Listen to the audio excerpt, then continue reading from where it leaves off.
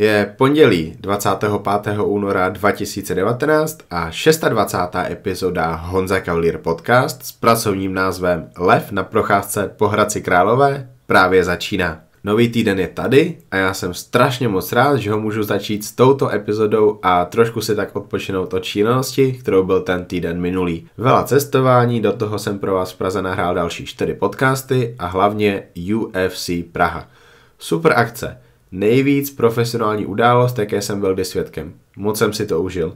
Ale o tomhle vám dneska povídat nebudu. Stačí, že o tom budu dneska celý den muset psát. Na jednu stranu mám obrovskou chuť se teď rozpovídat o věcech, které nemají s podcastem nic společného. Říct, co mi dělá radost a nebo čím mě někteří z vás neuvěřitelně štvou. Ale víte co? Who cares? Hlavní je, že tu pro vás mám tu dle mého názoru zatím nejlepší epizodu Honza Cavalier podcast, alespoň z mého úhlu pohledu. Věci, co jsme s Františkem Zámolou probrali, to je něco neuvěřitelného a já doufám, že si jeho názory a hlavně ty zážitky poslechnete i vy. Jak on vnímá vůbec smrt Dallasa McCarvera? Jak se dostal se svým hamrem na Island, který procestoval? Jak je možné, že mohl z lvicí, která s ním žila několik let, chodit po Hradci Králové? Prostě tahle epizoda je našlapaná tématy, kterým neuvěříte. Honza Cavalier podcast můžete poslouchat i díky mé spolupráci s dvěma super značkami – Tou první je restaurace Bistro Foodu Bratislava. Ta má dvě pobočky v Bratislavě. A já vám říkám, že pokud si tam zajdete na jídlo, tak nebudete litovat. Druhou značkou je Fitness House. Prodejce oblečení a doplňků Gasp a Better Bodies v České republice a na Slovensku. Tyhle značky jsou zárukou kvality.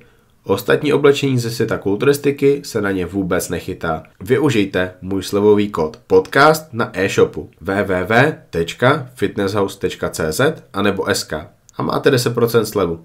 A nebo navštivte Činkáren Čambal, kde se nachází kamenný obchod Fitness House Store.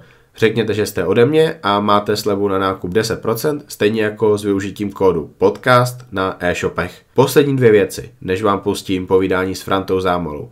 První, venku je nové vydání Muscle and Fitness. V tomhle čísle jsem si pro vás připravil rozsáhlý profil, článek, rozhovor s Alešem Lamkou. Myslím si, že si ho hodně užijete. A navíc tam mám tři stránky, na kterých se vám snažím představit závodníky, kulturisty, ale i jednu bikini fitnessku, talenty, které byste měli v roce 2019 rozhodně sledovat.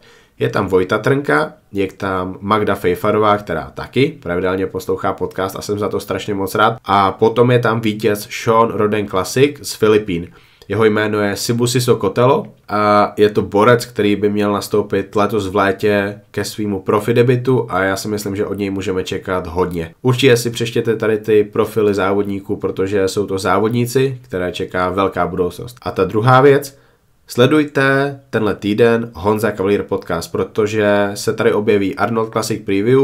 Je to něco, co v České republice nikdo nerobí, podle mě ani nikdy robit nebude, takže máte se na co těšit. Máte tam moje názory, ale hlavně tam budete mít i názory lidí, který znáte, který sledujete, kteří vás zajímají. To je všechno a tady je ta pro mě zatím nejoblíbenější epizoda Honza Cavalier podcast s hostem Františkem Zámolou. Dneska je mým hostem člověk, kterýho já sleduju strašně moc dlouho, ale tím, že tady to není aktivní kulturista, tím, že tady to není člověk, který sám o sobě natáčí videa, sám o sobě se snaží dostat do různých rozhovorů, být v kontaktu s aktivními závodníky, díky čemuž my ho budeme vidět, tak já o něm nevím zdaleka tolik, kolik bych chtěl. Ale těším se, že dneska se toho dozvím opravdu hodně. Hostem je František Zámola. Ahoj. Ahoj. Uh, Franto, včera jsem nahrával podcast s Honzou Turkem, uh, ten si posluchači mohli poslechnout před týdnem a moje první otázka, první téma bylo, kdo je to vlastně Honza Turek a přišli jsme na to, že on je kulturista, je to trenér, je to businessman, je to přítel a je to budoucí táta. Jak vypadá tvůj den v životě? Můj den v životě je docela rozmanitý, ale taky každopádně má to několik sekcí, takže Eh, samozřejmě se věnuji své práci, rodině, když bude čas zálibám, cestování, ale eh, jsem takový multifunkční, multifaktoriální a opravdu někdy to je pestrý, to znamená, že nemá moc čas na odpočinku nebo na nějaký bloumání, pořád je to akce. Přesně tak tě vnímám. Vnímám tě tak i, když jsem si připravoval tady ten podcast a zjistil jsem, že já se nemůžu upínat k nějakým tématům, protože my můžeme narazit na nějaký zlatý důl a o tom se bavit hodně dlouho, protože to bude tak zajímavý, že u toho budu chtít vydržet. Zmiňoval si tvoji práci, my jsme teďka ve Fitgenu v Praze. Ano. Představ mi prosím tady to místo. Tak eh, Fitgen je ambulance a současně i kancelář, moje pracoviště. Je tady několik místností. My se teď nacházíme v hlavní ambulanci, kde projednáváme s klienty eh, v podstatě, mm, co si slibují od těch našich vyšetření, jejich přání. Eh, konzultujeme pak tady výsledky, eh, děláme tady určitý věci, takže FitGen hlavně se zaměřuje na genetické vyšetření predikce na základě odběru z bukální sliznice ze slin, který posíláme do laboratoře. Pak na základě výsledků klientům radíme, jak by se měli zachovat eh, ohledně výživy, ohledně tréninku, ohledně osobního života, ohledně stresu a mnoha dalších věcí. Takže kromě toho řešíme tady potravinové intolerance, alergie, vyšetření materského mléka, eh, vyšetření metabolických parametrů na základě odběru z krve, moče, takže opravdu eh, je to takový jakoby širší záběr, aby jsme těm lidem dokázali přiblížit, jakým směrem mají eh, nasměřovat svoje v podstatě úvahy o tom, jak dál pokročit, eventuálně se zlepšit. Takže je to v podstatě úplně pro každého, ale pro sportovce je to v podstatě nutnost, protože oni zjistí, jaký má jejich tělo potenciál, jak by se oni měli rozvíjet, jak by asi měli třeba nastavit trénink, protože každé tělo je jiné, každé tělo má jiné predispozice, třeba i pro sporty, ale určitě i svalová vlákna v tom hrají roli, eh, schopnost být vytrvalec nebo schopnost být extrémně explozivní a být rychlý, takže asi to je i hlavně pro sportovce. Ano, já speciálně se zaměřuji na sportovce, i když děláme pro každého u sportovců, jsme eh, schopni sledovat, dejme tomu, typ svalových vláken, se, se hodí spíš na vytrvalostní, nebo silové sporty, nebo eh, jsou to typy mix, eh, na základě genů ACTN3, ACM. Pak jsme schopni sledovat eventuálně parametry metabolismu, co se týče výživy, dále příjem kyslíku, jakou mají eh, predikci, predispozice.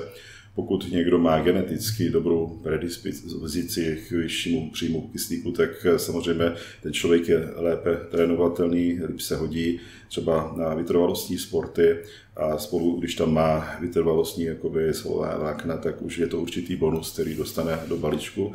Jenom toho člověka někdo musí objevit. Dále můžeme sledovat antioxidační kapacitu, jestli ten člověk potřebuje víc, méně antioxidantů k regeneraci a k dalším věcem. Dále jsme schopni sledovat predispozice k zánětlivým onemocněním, a eventuálně ke zraněním na základě eh, typu kolegenních vláken, co ten člověk má přidělen. Takže je to spousta informací, které pak rádi interpretujeme těm trenérům, výživovým poradcům, aby se jim snáze eh, trénovalo s těma lidma, radilo a aby ty výsledky byly ucelené. Kromě toho eh, sledujeme aktuální biochemické parametry, u těch lidí. To znamená, že dejme tomu, když má někdo predikce k vysoké hladině pomoci stejnou geneticky, tak to ověříme praxi, jestli biochemicky to tak skutečně je a jestli tam, dejme tomu, parametry některých vitamínů, B12, kyseliny listové, vitamíny skupiny B, že jsou tam kvůli tomu roštelovaný a už jsme schopni tomu člověkovi zasáhnout i tady z toho hlediska.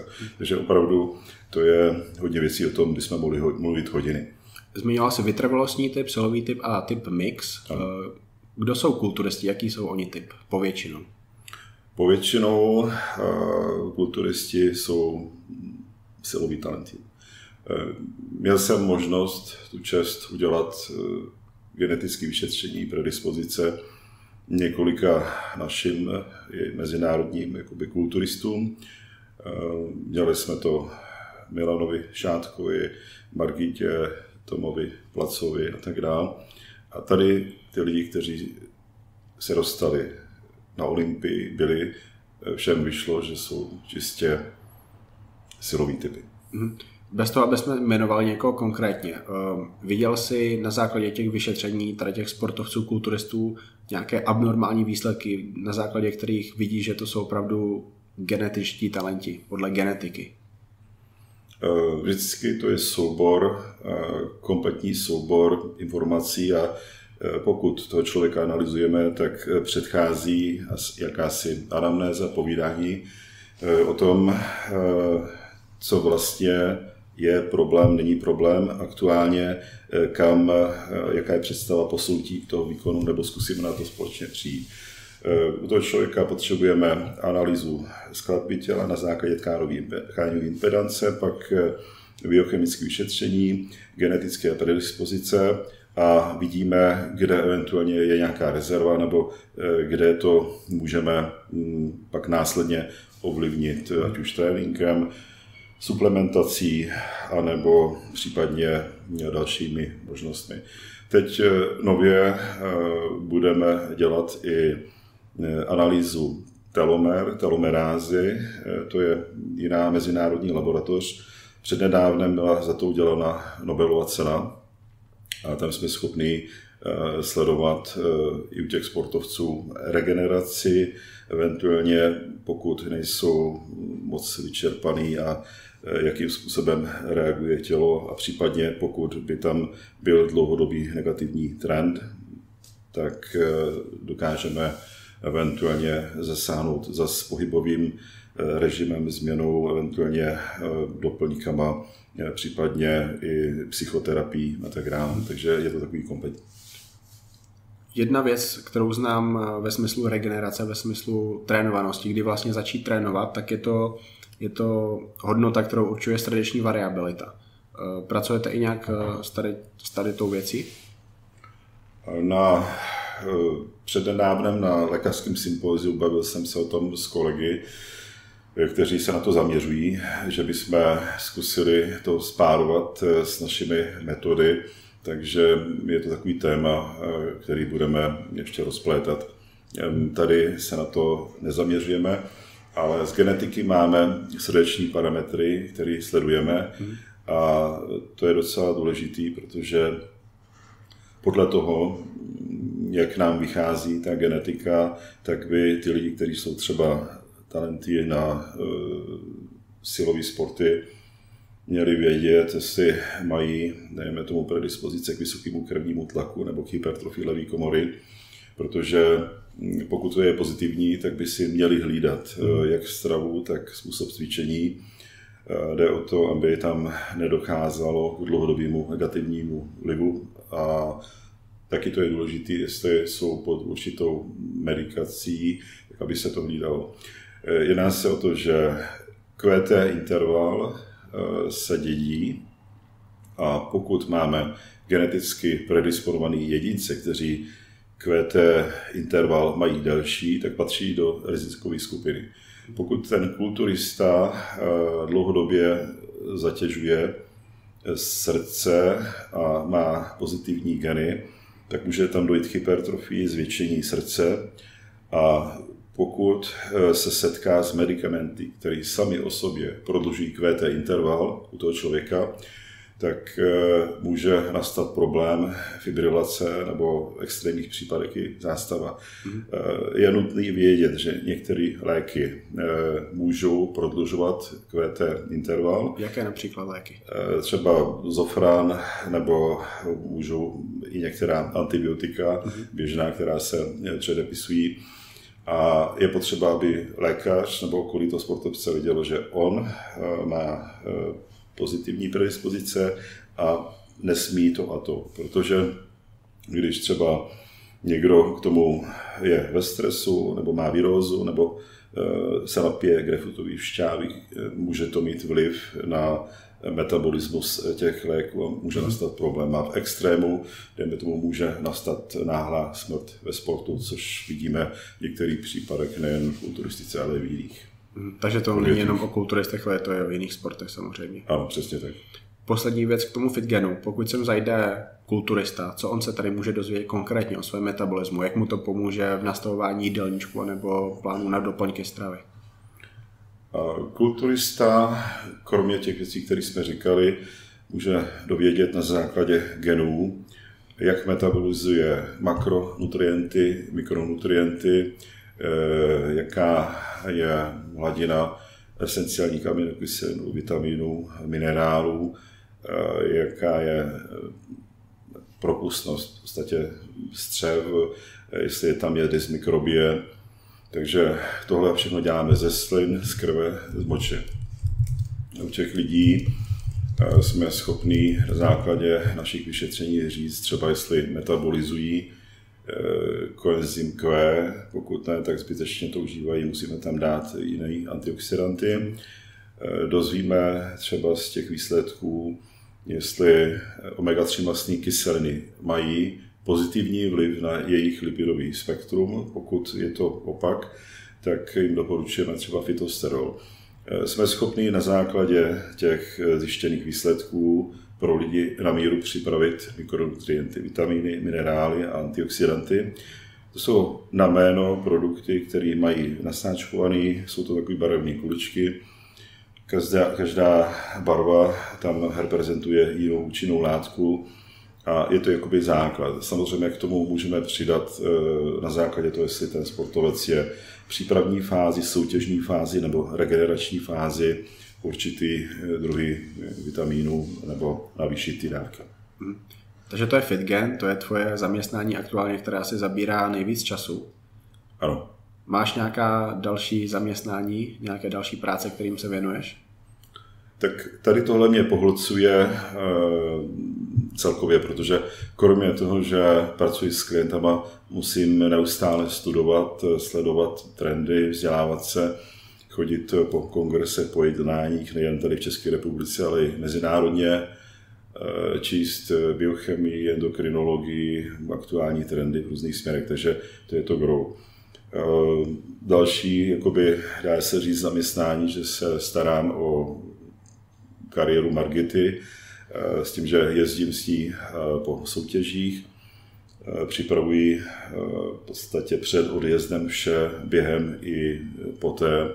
Eh, je to takový marketing, management a osobní péče, tak aby všechno dopadlo optimálně. Ona udělá všechno, co se týče výživy, co se týče stravy a tréninku a já musím zvládnout zbytek kolem tady tu manažerskou kariéru, kterou hrozně pomáháš Margitě, tu určitě probereme, tam je strašně zajímá, to se mi moc líbí, vy jste spolu úplně na všech závodech, ty se jí staráš o promo, to je strašně důležitá věc dneska, kterou plno lidí nedělá a už vůbec to nedělá manžel toho sportovce, to je strašně zajímavý.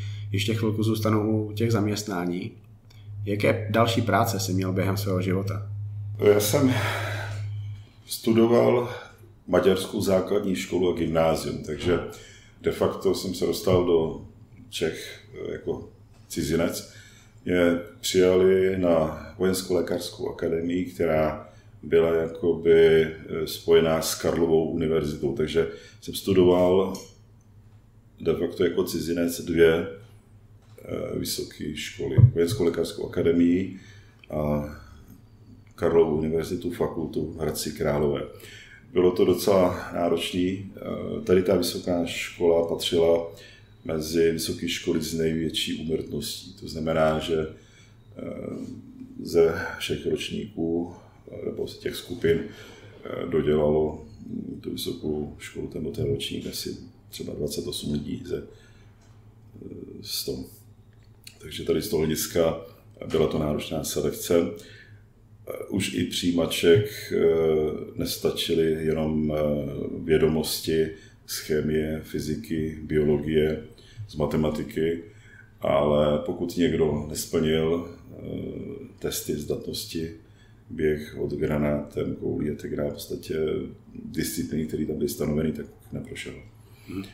Takže po vysoké škole bylo to velice zajímavé a rád na to vzpomínám a několik, několikrát jsem říkal, že z těch zážitků, které jsme zažili, na té medicíně, na té vojně by se dal natočit další speciální díl básníků, protože to je samostatná kapitola. Po vysoké škole jsem nastoupil na onkologii, kde jsem byl řadový lékař na lůžkovém oddělení. To znamenalo péče o pacienty, anamnéza, běžný zákroky, které byly potřeba. A chodil jsem na pitvy svých pacientů, protože na té onkologii samozřejmě se to stávalo.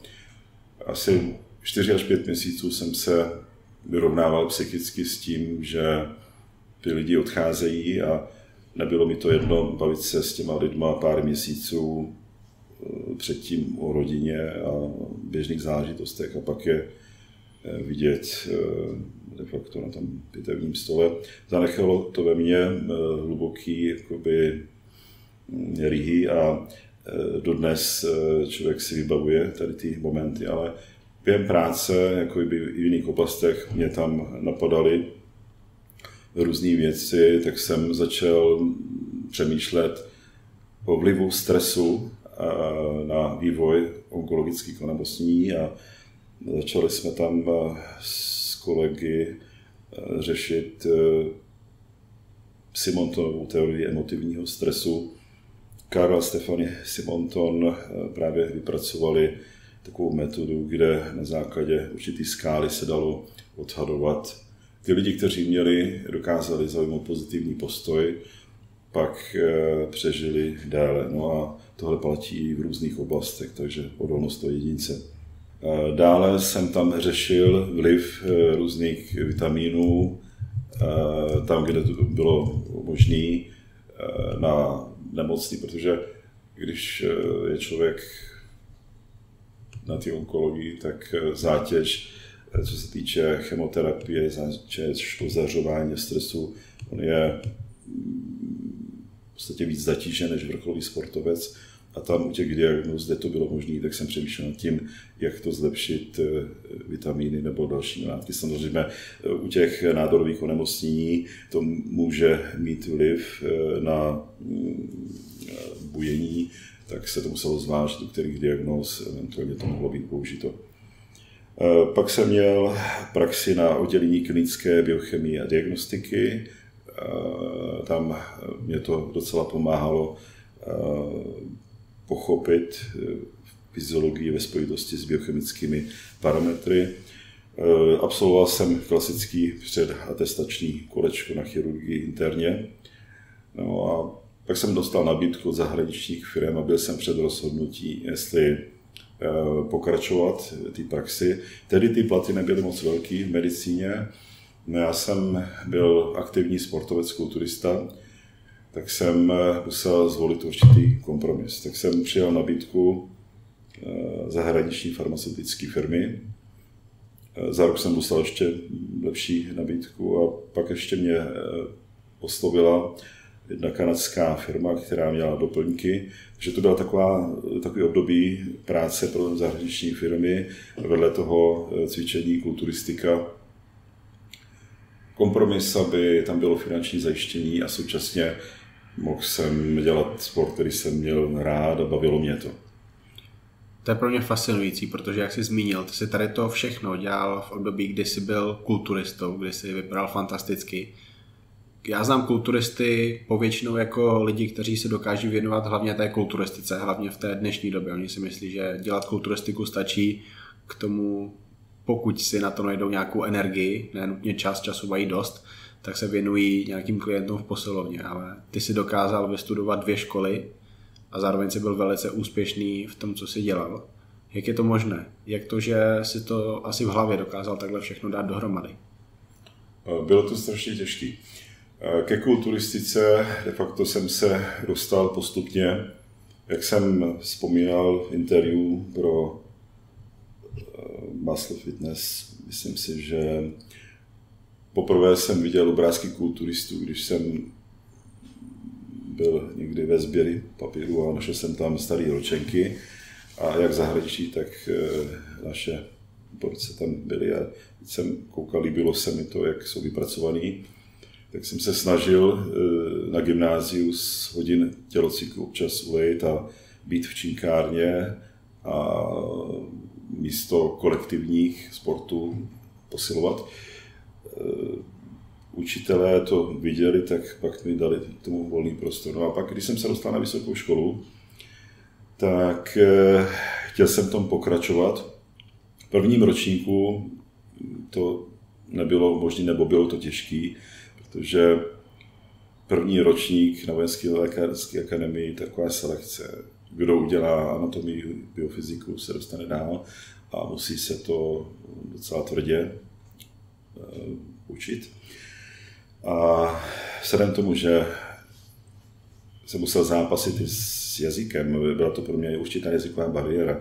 Dva roky trvalo, než jsem dokázal pořádně vyslovit hře v češtině a určitá úskalí tam byla. Takže eh, to cvičení eh, symbolizovalo relax, útěk z toho stresu a byla to jediná věc, která se dala dělat kdykoliv, za jakýchkoliv okolností, vybavení, eh, kdekoliv.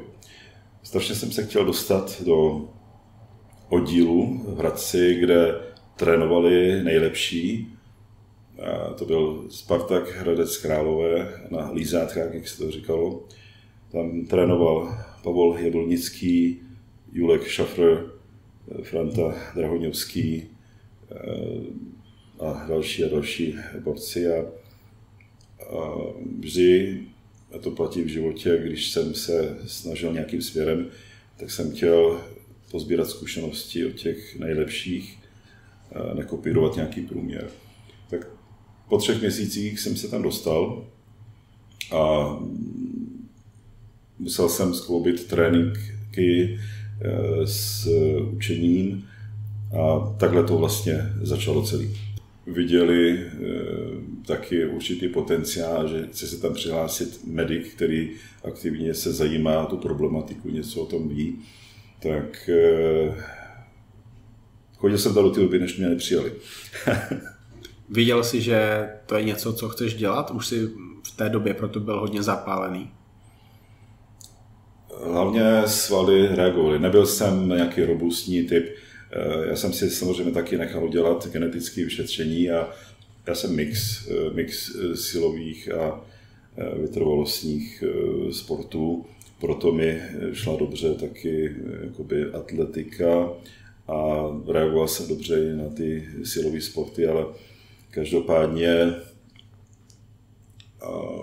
po několika měsících už to vypadalo, že bych se mohl zúčastnit krajského přeboru. Juniory jsem dokonce vyhrál a jako junior jsem se dostal na republiku, respektive na Čechy a tam jsem získal šestý místo ve finále. A to byl ročník, kde tam byl ještě Vláďa Lníčka, Ivo Bořič a další eh, z těch lidí, kteří pak postupně eh, cvičili dál a byli úspěšní. Jak vzpomínáš na tady to období? Jak, eh, jak populární v té době kulturistika byla u lidí, kteří se o ní zajímali?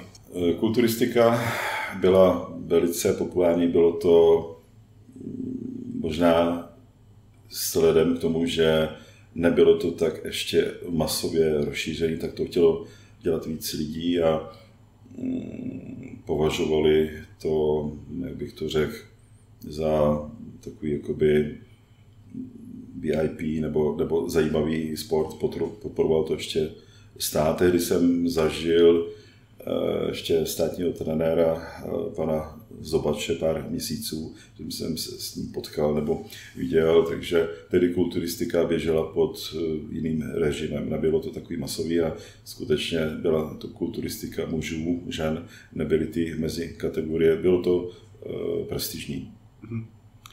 Jak moc se ti v té době líbilo, jakým způsobem se rozvíjí tvoje postava a kam si to chtěl jednou dotáhnout? Měl jsi nějaké sny, že ty budeš kulturistou, který bude třeba závodit na Olympii, nebo už si věděl, že tak obrovský nikdy být nemůžeš? Eh, vzhledem tomu, že vedle toho jsem studoval medicínu a víme, co obnáší kulturistika, pokud je tam, eh, dejme tomu, dvoufázový trénink a ještě v systému 3 plus 1, tak člověka to na to tolik zatíží, že pak nemá tolik energie na učení, takže jsem musel udělat kompromis.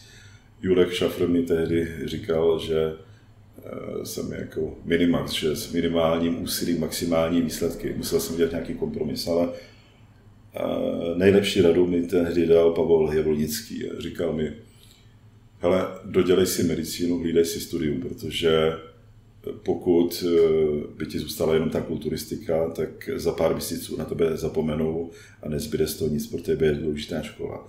A když ti to řekne eh, člověk, který už tom něco dokázal, který ho vidíš denně, tak nad tím začneš přemýšlet a vážíš si to. A musel jsem to takhle v hlavě srovnat, takže nemohl jsem skočit hlavou do hluboké vody a dělat instinktivně jenom kulturistiku, protože musel jsem si uvědomit, že ta medicína, ne každý se tam dostane, eh, je to náročný studium a představuje to určitou trvalou hodnotu v mém životě, tak podle toho se, se musel zařídit. Ale přesto minimální úsilí, maximální výsledky. Jak dlouho se snažil ty být nejlepším kulturistou, jakým dokážeš být? Uh, obrovský plus byl pro mě, že jsem studoval medicínu, uh, vyznal jsem se v těch věcech, měl jsem kolem sebe ty nejlepší a dokázal jsem srovnat určitý empirické věci z praxe s tou medicínou, spárovat ty věci. A snažil jsem se víc využít když už jsem se připravil tady v České republice i v zahraničí eh, té soutěže. A eh, tam jsme pak narazili na problém, že soutěžil jsem v několika federacích a byl jsem úspěšný.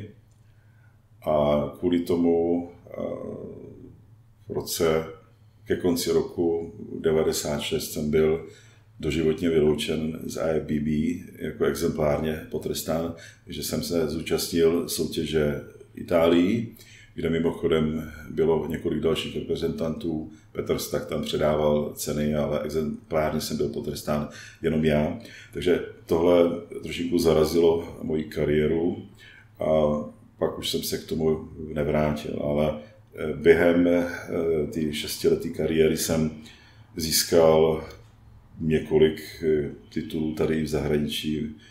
Byl jsem první absolutní vítěz pro Milk Cupu, který už pak jakoby mělo nějakou tradici. Eh, za eh, jinou federaci jsem byl druhý v Sofii na mistrovství Evropy a čtvrtý v Itálii na mistrovství světa v Porto San Giorgio a tak dál. Mistr Čech, mistr republiky v párech je někde na nějakém serveru takový přehled, takže pár výsledků tam je. Myslím si, že jsem měl dobrý potenciál, protože od začátku úzký pas, rychlý metabolismus a tehdy pokud eh, bych eh, sebral větší odvahu a eventuálně spolupracoval eh, s někým, kdo eventuálně viděl trochu dál v tom pokroku, tak mohlo to dopadnout všelijak. Nemusel jsem dokončit školu, mohl jsem být ještě lepší, eventuálně eh, mohlo mi to přinést eh, zdravotní problémy. Takže beru to tak, že něco jsem ztratil a něco jsem získal tím. Žádné přemýšlení, co by, kdyby, to se u tebe nekoná. Asi není důvod takhle přemýšlet, protože ten tvůj život vypadá, no, že... Se k tomu, že jsem poté měl u těch farmaceutických firm nebo dál docela úspěšnou kariéru, tak eh, člověk by mohl přemýšlet, eh, co by přineslo víc pozitiv. Eh, jestli kariéra kulturisty, kde každý rok, každý měsíc musíš bojovat, abys udržel formu, abys udržel zdraví a pořád mít v hlavě, kde se zúčastnit, koho porazit. No a tehdy v těch dobách to bylo bez většího finančního úspěchu nebo bez větší finanční podpory. Kdo je František Zámola? Kde se narodil, kde vyrostl? Já jsem se narodil v malém městečku eh, na jižním Slovensku, ve Štúrově. Je to těsně u maďarských hranic. Pak jsem eh, v období základní školy tam žil na malé vesnici. Dá se říct, že jsem měl hezký dětství na začátku 70. let jsme tam obvykle s klukama hráli buď na německou, anebo sovětskou armádu, anebo jsme byli kovbojové nebo indiáni. Eh, dělali jsme věci, které teď třeba děti nedělají a tehdy to bylo normální, že jsme eh, po dešti vyhrabávali eh, projekty po těch armádách, byly tam ještě jejich helmy, pováleční zůstatky, nebo jsme sbírali dělostřelecké granáty a tak dále. Dnes člověk by se na to díval divně, ale tehdy, jak to bylo běžný, tak to byla taková...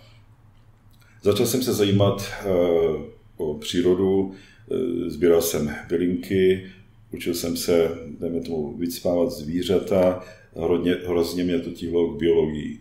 Původně jsem chtěl být takovým daktarem, tehdy to bylo, byl takový seriál o lékaři a o v podstatě safari v Africe, tak mě to tíhlo být zoologem, krestit, studovat zvířata. To mě jakoby zůstalo téměř do konce jakoby gymnazijních studií.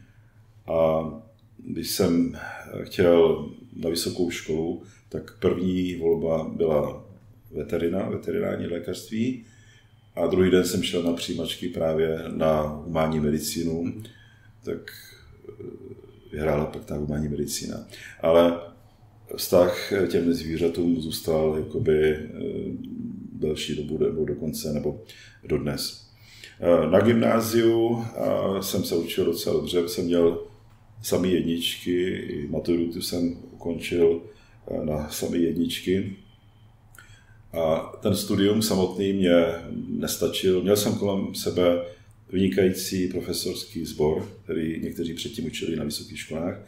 A měl jsem štěstí, že mě dokázali motivovat. Měl jsem vynikajícího třídního profesora, který viděl určitý talent, tak eh, když těch lidech dokážete probudit ten talent, tak nikdy to padne na úrodnou půdu. A já vedle studia jsem dělal takzvané středoškolské odborné činnosti. Psal jsem historickou práci, třeba Šturovu a okolí eh, v tureckých dobách, anebo přírodní rezervaci v okolí. Dělal jsem z astrofyziky práci o bílých trpaslících a to nebylo jen tak, že jsem se zúčastnil, ale tedy mi řekli eh, na další práci, která eh, hodnotila hospodaření sloveckou zvěří okresu Nové zámky, že je to tak dobře zpracovaný, že bez přijímačky bych se dostal třeba do Košic na eh, veterinární fakultu, eventuálně na další přírodno-vední eh, fakulty. Eh, takže vždycky, když jsem něco dělal, tak jsem to dělal naplno. A zpracování tady těch prací mě hodně pomohlo. V analytickém myšlení a v pravidelných aktivitách a přesnosti, což využívám dodnes, protože když děláte s biochemickými daty nebo eh, děláte s genetikou, eh, záměna jednoho písmena nebo jednoho čísla znamená úplně jiný výsledek. Takže jsem se naučil soustředit se na to, co dělám a pak eh, mě to pomohlo i v dalších studiích. Tak nějak to bylo s tím špenátem, ne? Že oni tam posunuli desetinou čárku a lidi pak jedli špenát kvůli tomu, že z něj budou růst svaly. Pepek námořník. Ano, tak samozřejmě, kdyby na tím přemýšlení měli vědomosti, tak na to mohli přijít, že to tak nebude, ale to tak je. No. Tady to všechno, tady ten přístup, tady, to, tady ta pečlivost, konzistentnost, pravidelnost, bylo ti to vštěpováno rodičmi nebo se k tomu dopracoval sám ty? Eh, rodiče nějak podporovali, eh, maminka eh, hlavně v prvních ročnících základní školy mě vždycky zpovídala, jestli jsem se to naučil dobře, ale hlavně to byla i moje iniciativa, protože když jsem to chtěl zvládnout dokonale, tak neustále jsem v podstatě chtěl, aby mohl reprodukovat a, a to kontrolovat. Takže a maminka mě učila kreslit a další dovednosti, eh, takže myslím si, že tady z toho hlediska jsem od ní dostal, dostal dobrý základ, ale pak dál jsem se rozvíjel sám. Oni neměli možnost studovat dál, takže de facto pak na gymnáziu nebo na vysoké škole jsem byl čistě odkázán sám na sebe. Mm-hmm. Moje mládí bylo takový, že každý rok jsem několikrát do roka jel do zoo, na zámky, na hrady se podívat. Cestoval jsem po České republice, abych viděl, jak ta Česká republika vypadá, abych znal ty zvířata. Zvířata mě taky strašně bavily, ale o tobě vím, že zvířata miluješ. Když jsi byl mladý, tak si zvířata vycpával, to je velice zajímavá novinka, kterou já jsem neviděl. Kdy se v tobě objevila tady ta láska ke zvířatům a proč? Proč právě zvířata?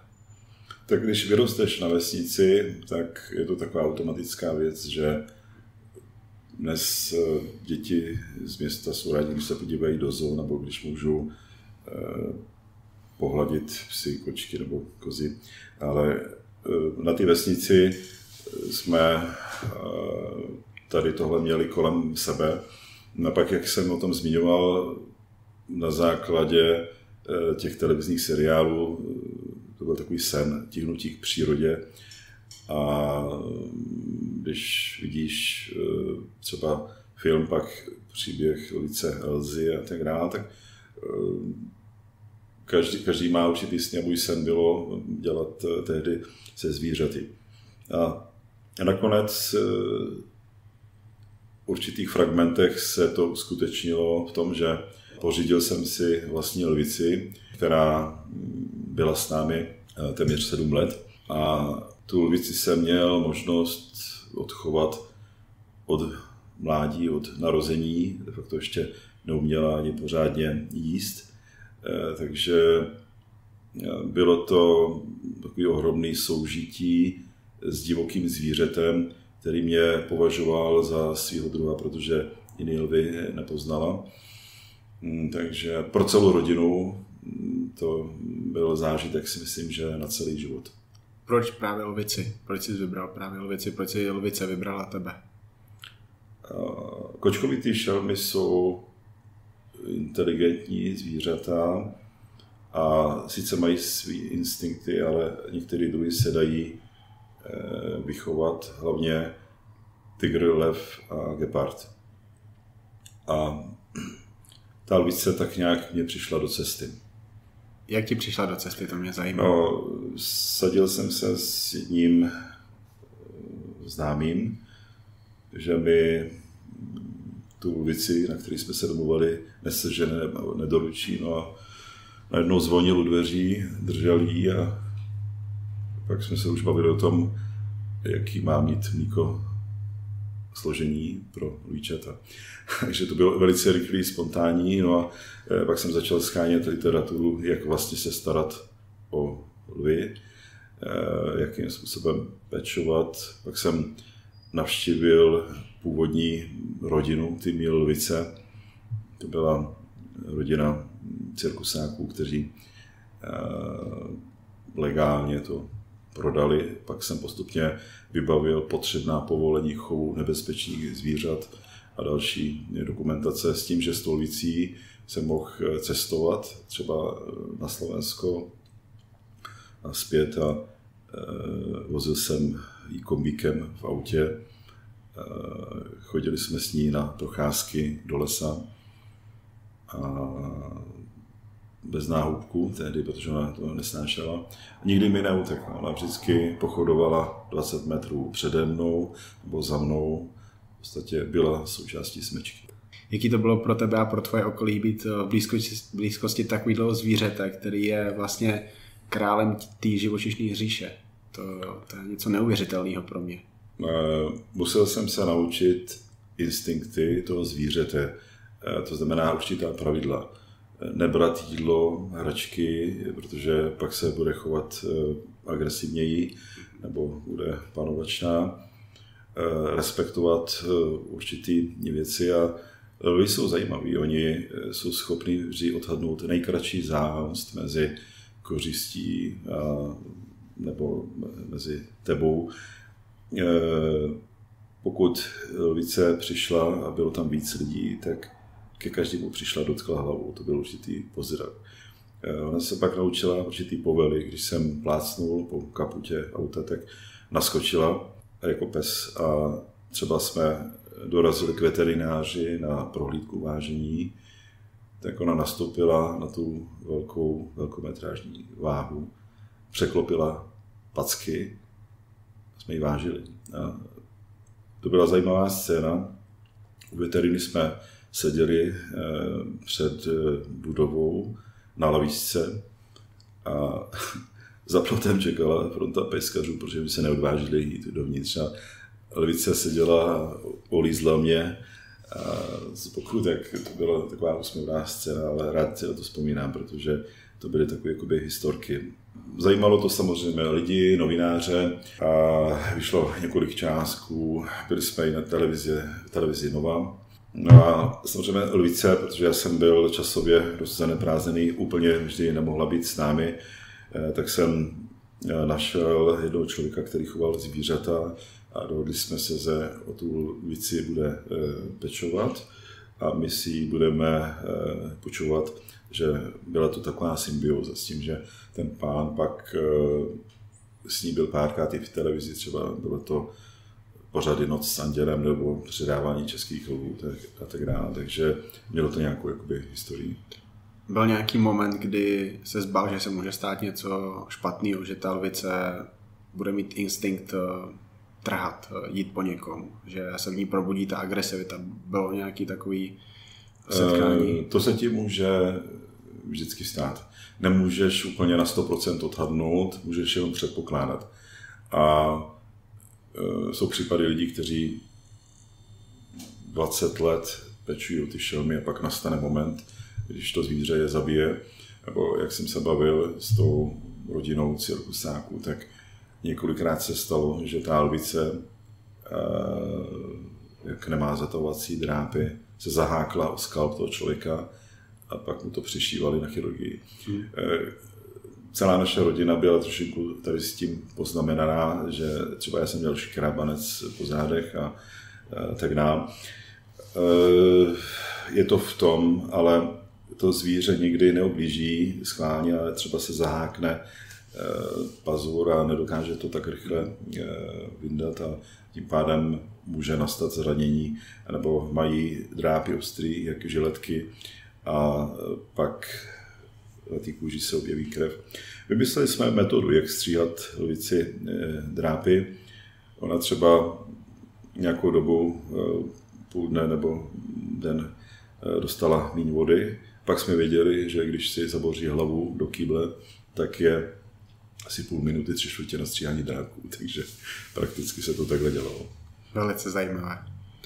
Jaká další pro nás exotická, exotická zvířata si takhle choval? Byl jsi s nimi v kontaktu? Uh, jednou jsem byl eh, na takové túře, uh, takový soukromý expedici po severní Africe, hlavně po Maroku. A tehdy mě napadlo, že si pořídím kobru. A v Marrakeši na hlavním náměstí opravdu ty berbeři tu kobru přivezli, já jsem jim to zaplatil, no a pak e, mě e, zdobila terárku asi e, tři čtvrtě roku jsem ji přivez a to bylo opravdu takový jakoby nejnebezpečnější zvíře, který jsem kdy choval nebo měl. A jinak v současné době, já to už další dobu, Mám divoké koně eh, na Slovensku, chovám tapany. Mám uh, jedno koně, který byl vycvičen na bojové sporty, když jsem uh, dělal lukostřelbu na koni a trénoval jsem s lukostřelcem z Maďarska. Pak tam máme ještě buvoly a nějaké jakoby drobná zvířata, takže pořád kolem mě to je živý. No. Jaká zvířata jsou aktuálně tvojí největší láskou?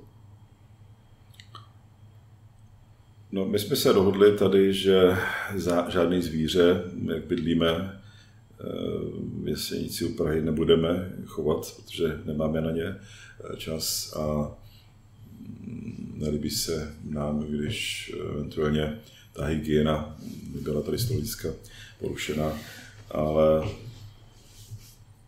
pokud bych eh, měl možnost a měl na to prostory a klid, tak třeba bych si pořídil Geparda.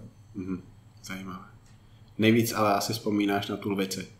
Eh, ano, to byla životní epizoda, eh, velice zajímavá. Málo komu se to poštěstí, ono občas člověk narazí na internetu.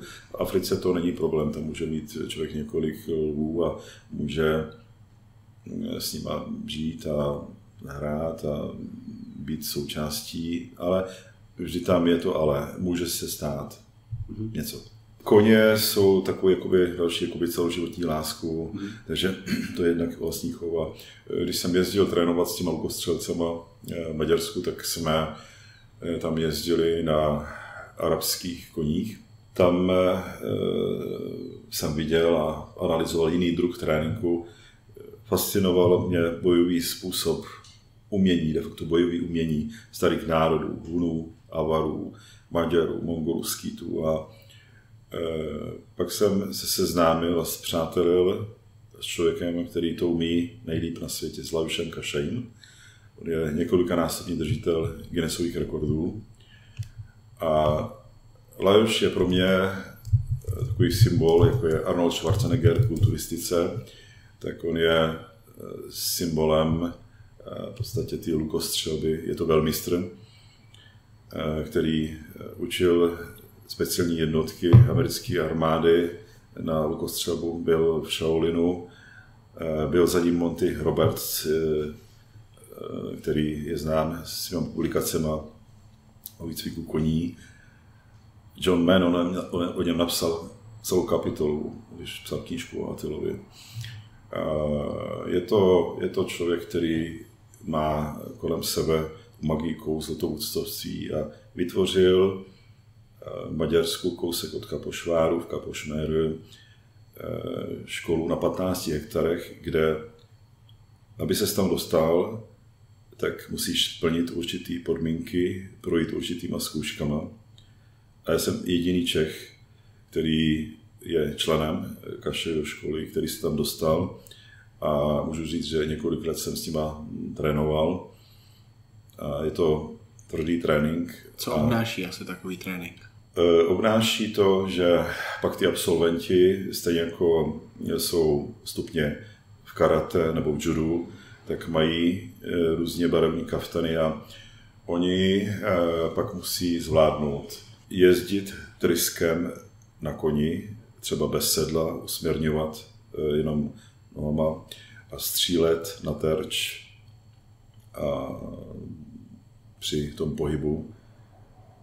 A hodnotí se čas, hodnotí se přesnost a ty lidi de facto tady těma dovednostmi se vyrovnávají starověkým bojovníkům.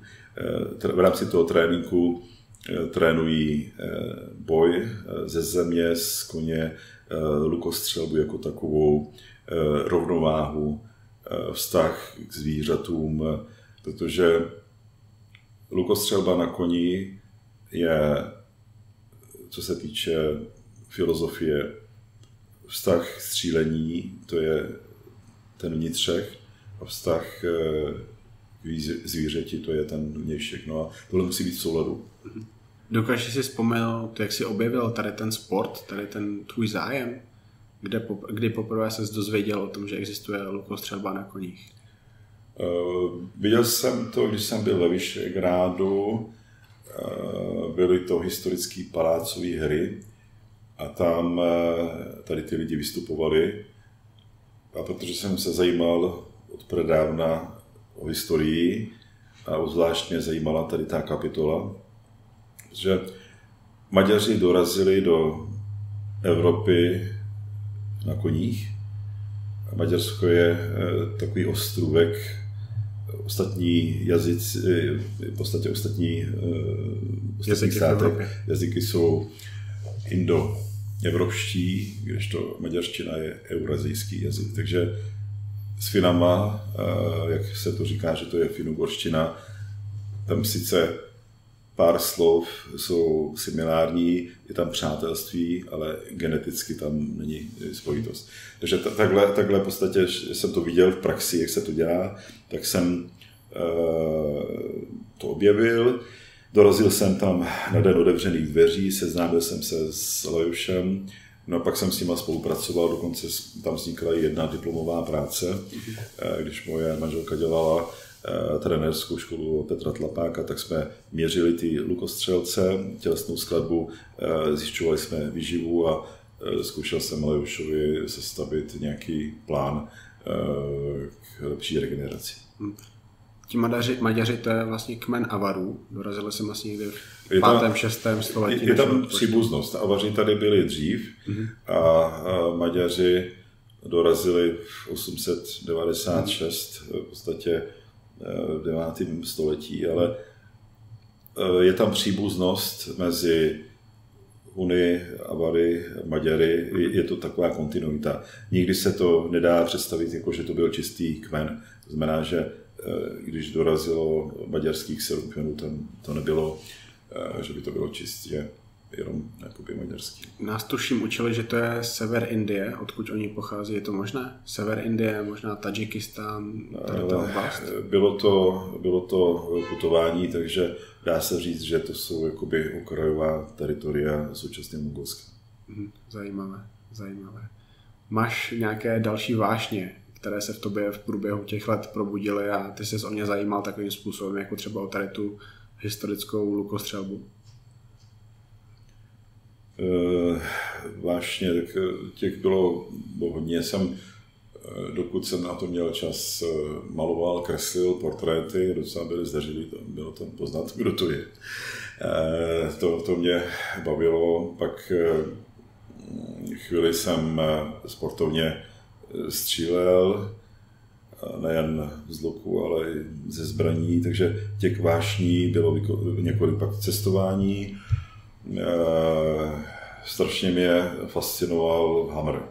Stejně jako eh, další lidi, když to viděli, že se to eh, dostalo do civilu z té vojenské verze, hlavně díky Arnoldovi Schwarzeneggerovi, tak mým se bylo si pořídit Hammer. Tak jsem si pořídil ze Spojených států dovozem jednu H2 a začalo období expedic. Jsme vyráželi do Rumunska, do Albánie, do Černé hory, na Island eh, a zažili tam neskutečné věci. Eh, to byl offroad na ledových pláních na Islandu, na sopečních dunách nebo písku, na lávových polích, eh, v močálech v Rumunsku nebo v horách. V podstatě bylo to neskutečné dobrodružství, kde opravdu, když nás málem unesla řeka v koritu Albánii, tak šlo někdy o život nebo o auto.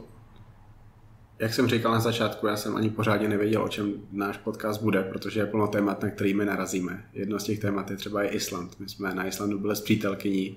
Pro nás oba je to obrovský zážitek, protože to je země jako žádná jiná. Ten ostrov je úplně jiný než všechny ostrovy na světě, možná Havaj se mu blíží. Jakým způsobem jste dostávali toho vašeho hamra na Island? To mě zajímá. Ehm, jsme tam přejeli trajektem. Byla to dvoudenní cesta, eh, tam i zpět.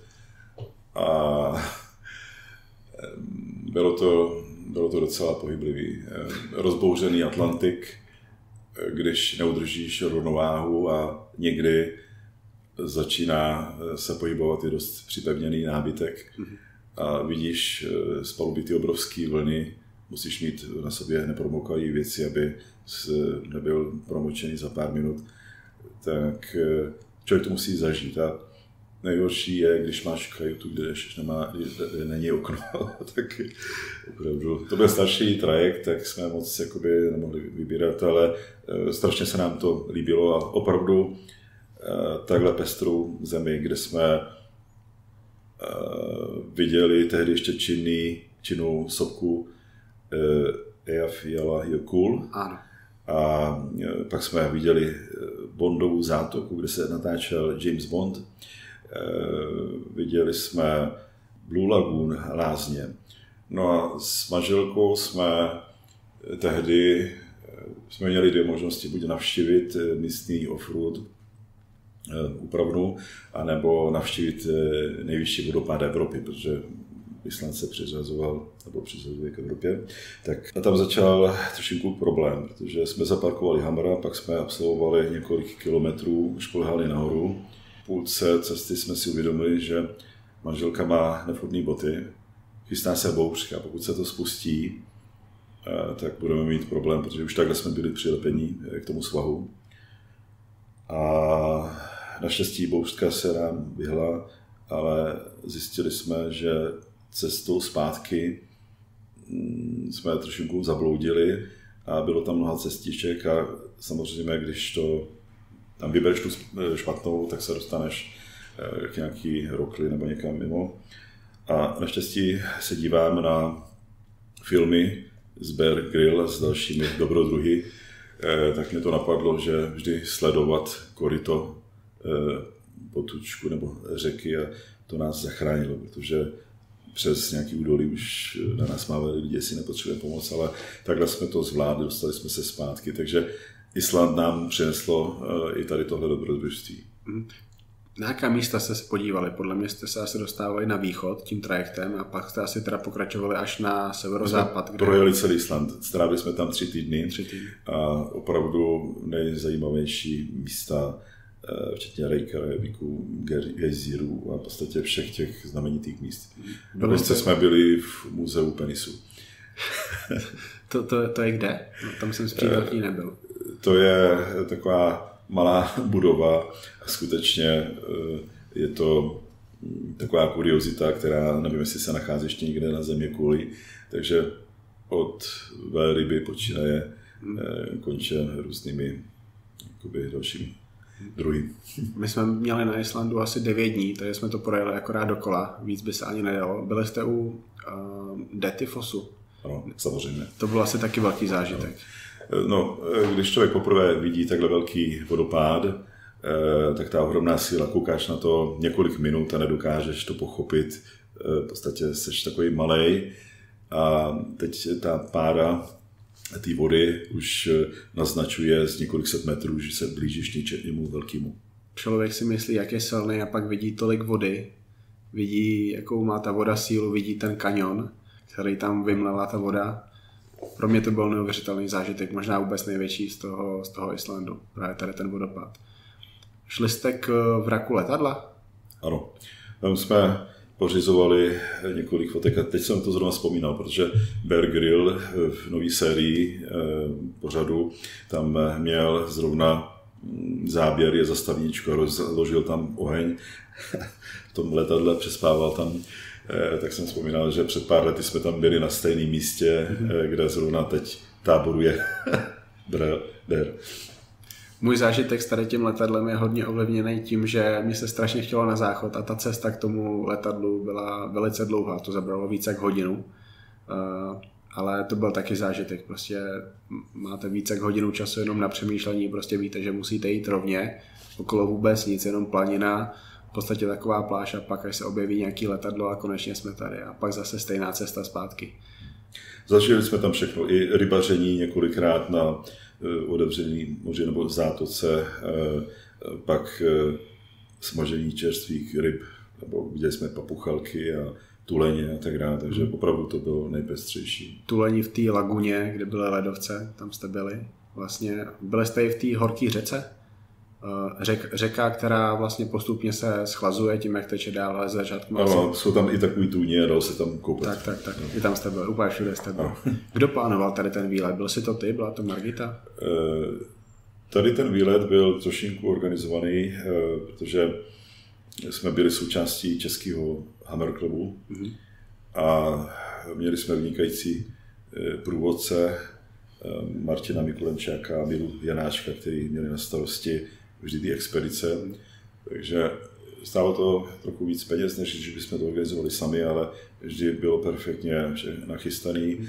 Měli jsme servisní tým za sebou, když by auto porouchalo a měli jsme kameramana, nebo tady na tom konkrétně kameramanku, vždy sám někdo jezdil, kdo natáčel ty naše cesty a dobrodružství.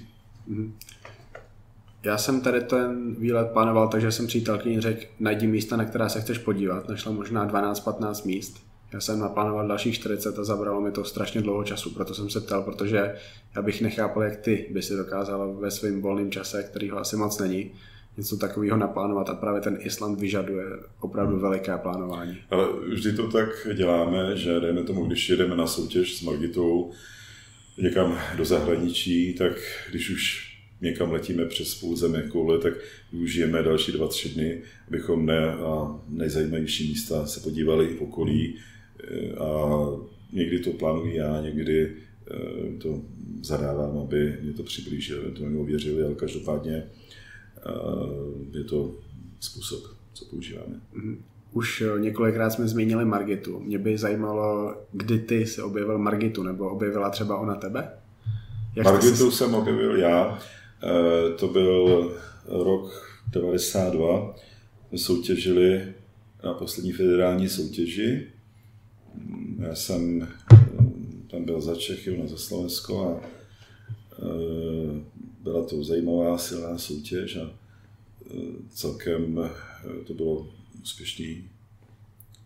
A ona tam tehdy skončila, myslím si, že na třetím místě za Evou Sukupovou a Zdenou Razimovou.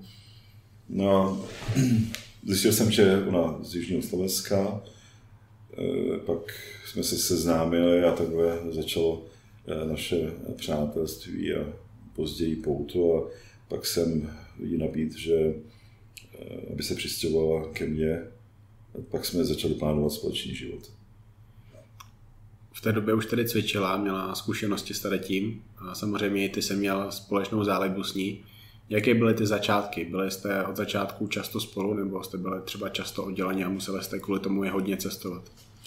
Tak ona tehdy úplně v začátcích žila svůj život, já taky, tak jsme se potkávali.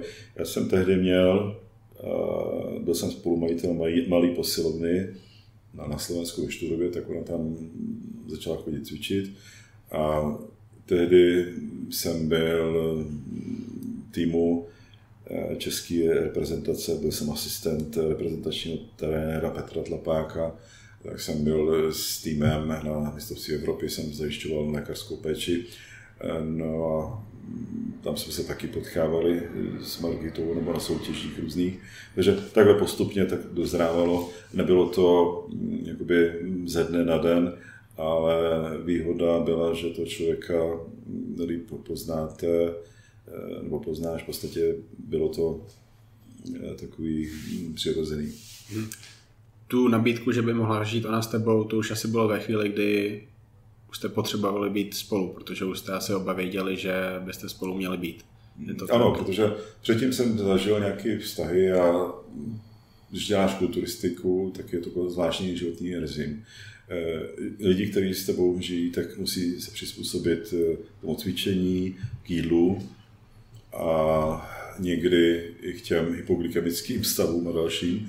Ne každý to dokáže tolerovat, ne každý to dokáže pochopit.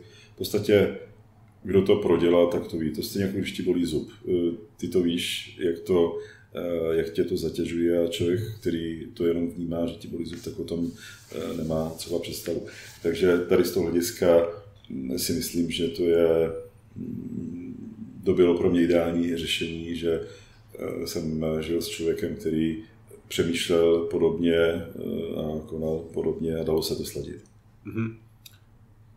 Jaký to bylo třeba pro Margitu, tím, že ona teda měla kulturistu, musela se přestěhovat? Bylo na ní vidět třeba, že si musí hodně dlouho zvykat, nebo si zvykla na nový život eh, celkem rychle? Ne, tak ona se adaptovala rychle. Tehdy eh, v Hradci já jsem měl malou firmu na prodej doplňků, měli jsme tam vertikální solárium, měl jsem tam konzultaci pro sportovce. Tehdy jsem dělal konzultanta pro českou atletickou reprezentaci, byl jsem součástí podpůrné subkomise, takže už jsem aktivně eh, se zúčastnil eh, různých eh, akcí, setkání a ty sportovní medicíny. Napsal jsem tehdy v roce 97 s autorským kolektivem souhrnou publikaci, asi 600 stran to mělo, eh, fitness katalog 97. Byl to přehled eh, kompletního trhu, eh, co se týče doplňků a co se týče mm, produktů. Začal jsem vydávat časopis Wellness, který byl vycházel pak několik let a byl to první časopis na wellness v Československu. Takže bylo zázemí a Margita nastupovala tady do toho zázemí s tím, že mi eh, pomáhala a měli jsme eh, podobné zájmy. Eh, přišla do toho Lvice, že jo, a celkem to bylo takový atraktivní. V podstatě mladý sportovní pár s určitým zázemím a s určitýma vizema. Ale ty si do té doby měl vztahy, ale neměl jsi asi žádný takhle vážný vztah, o kterém jsi viděl. Měl jsem vážnější vztahy, ale tam třeba byly jiné představy, protože se řešilo, dejme tomu, kde chceme žít, nebo čí kariéra je důležitější a, a nedalo se to úplně ze vším všudy skloubit. Takže... Ale tím, že tady si asi viděl, že to je něco, co by mohlo vydržet, tak se to třeba i ty bral víc odpovědně. Prostě věděl si, že s Markitou chceš být a jak to třeba změnilo tvůj život v tom, že k tomu všemu, co ty si v životě měl, čemu se zvěnoval, teď přibylo něco, přibyla Margita, který se musíš věnovat opravdu poctivě pořád, protože to je, to je člověk, to, to není práce, to není koníček. Tak náš eh, vztah ještě spevnili děti, že jo? V roce mm. 2001 se narodila naše starší dcera, pak 2006 eh, mladší a eh, de facto oba jsme, dá se říct, eh, s takovým aktivním vystupováním nebo s tím sportem jsme skončili. Bylo to období výchovy dětí, já jsem byl zaměstnantem jsem mezinárodní farmaceutické firmy.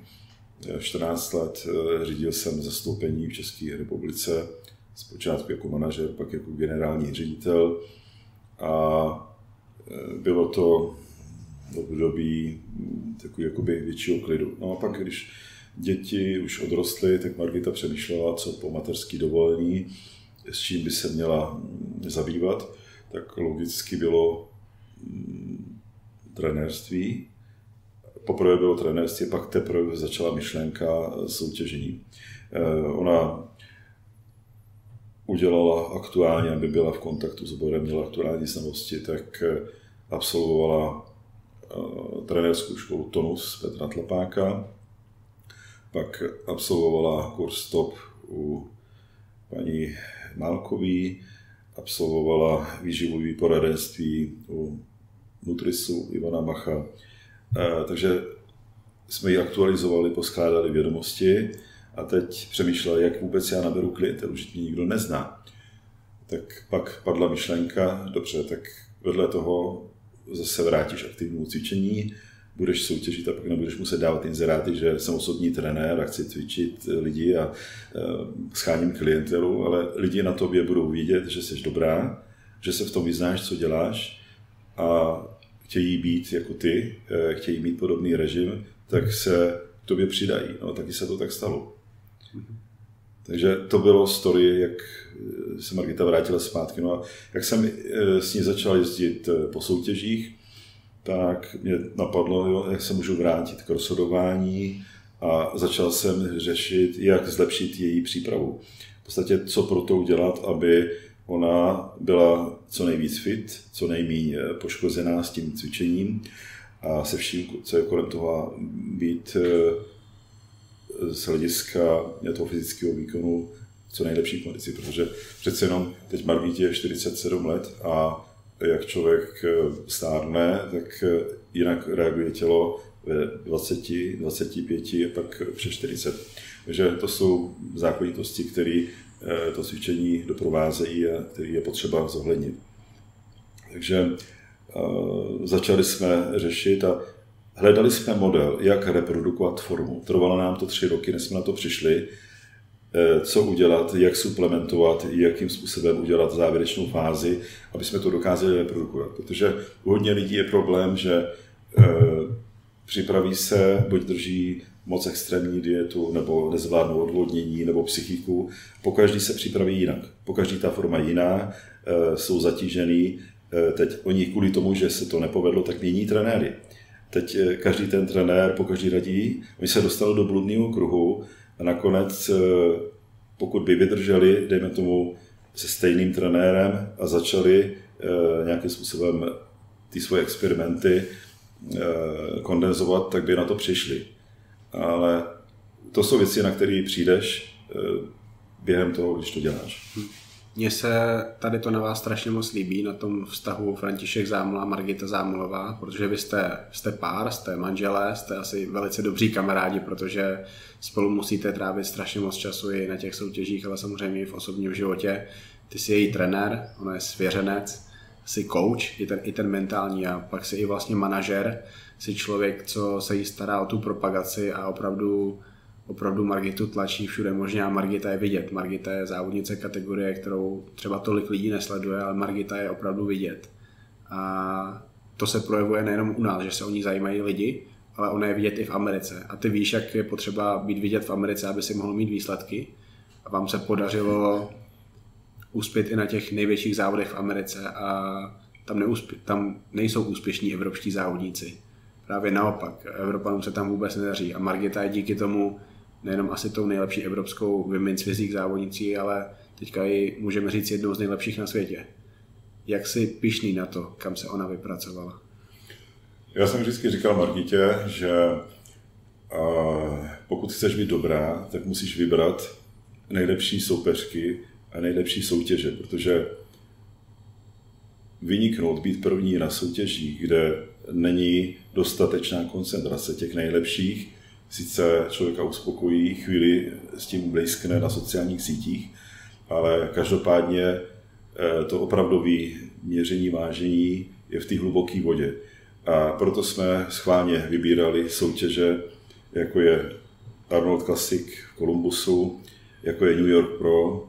Eh, v podstatě cílem bylo vždycky se dostat eh, na Olympii a když se jednalo o získání profikarty, tak jeli jsme do Jižní Afriky, protože zrovna tam eh, byla příležitost, nebo další příležitost. No a kdyby bylo potřeba, tak jedeme do Austrálie nebo do Jižní Ameriky. Důležitý je, eh, jak to říkal Arnold Schwarzenegger, nemít plán B.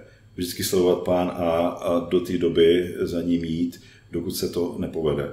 Musel jsem eh, proniknout nejen do přípravy, ale i do zákulisí jednotlivých soutěží, seznámit se v podstatě s těma lidma, kteří organizují, začít přemýšlet trochu.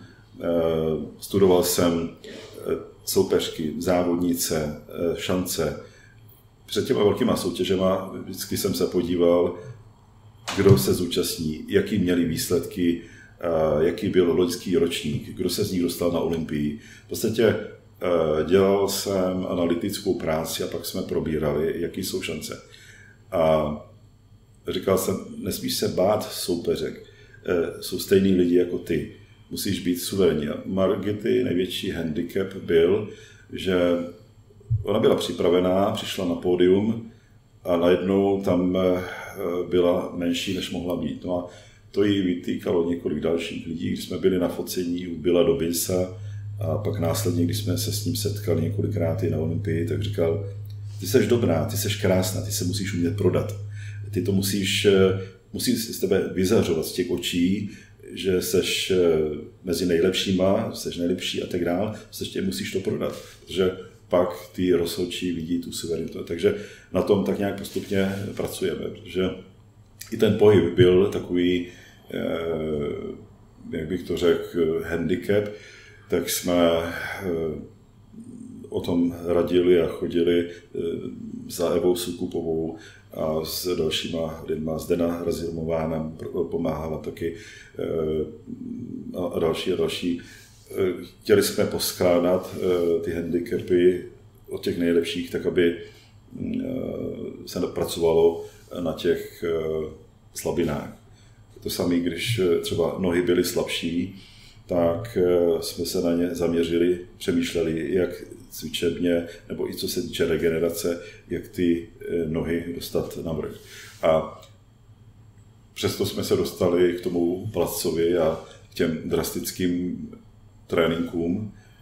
Na Margita je dala. A Tomovi se to strašně líbilo, že najednou tam, co v Maďarsku, když jsme byli několikrát, cvičila ženská s chlapama, eh, kteří někdy stačili na míň a přitom se snažili a ona to dala vše a vydržela.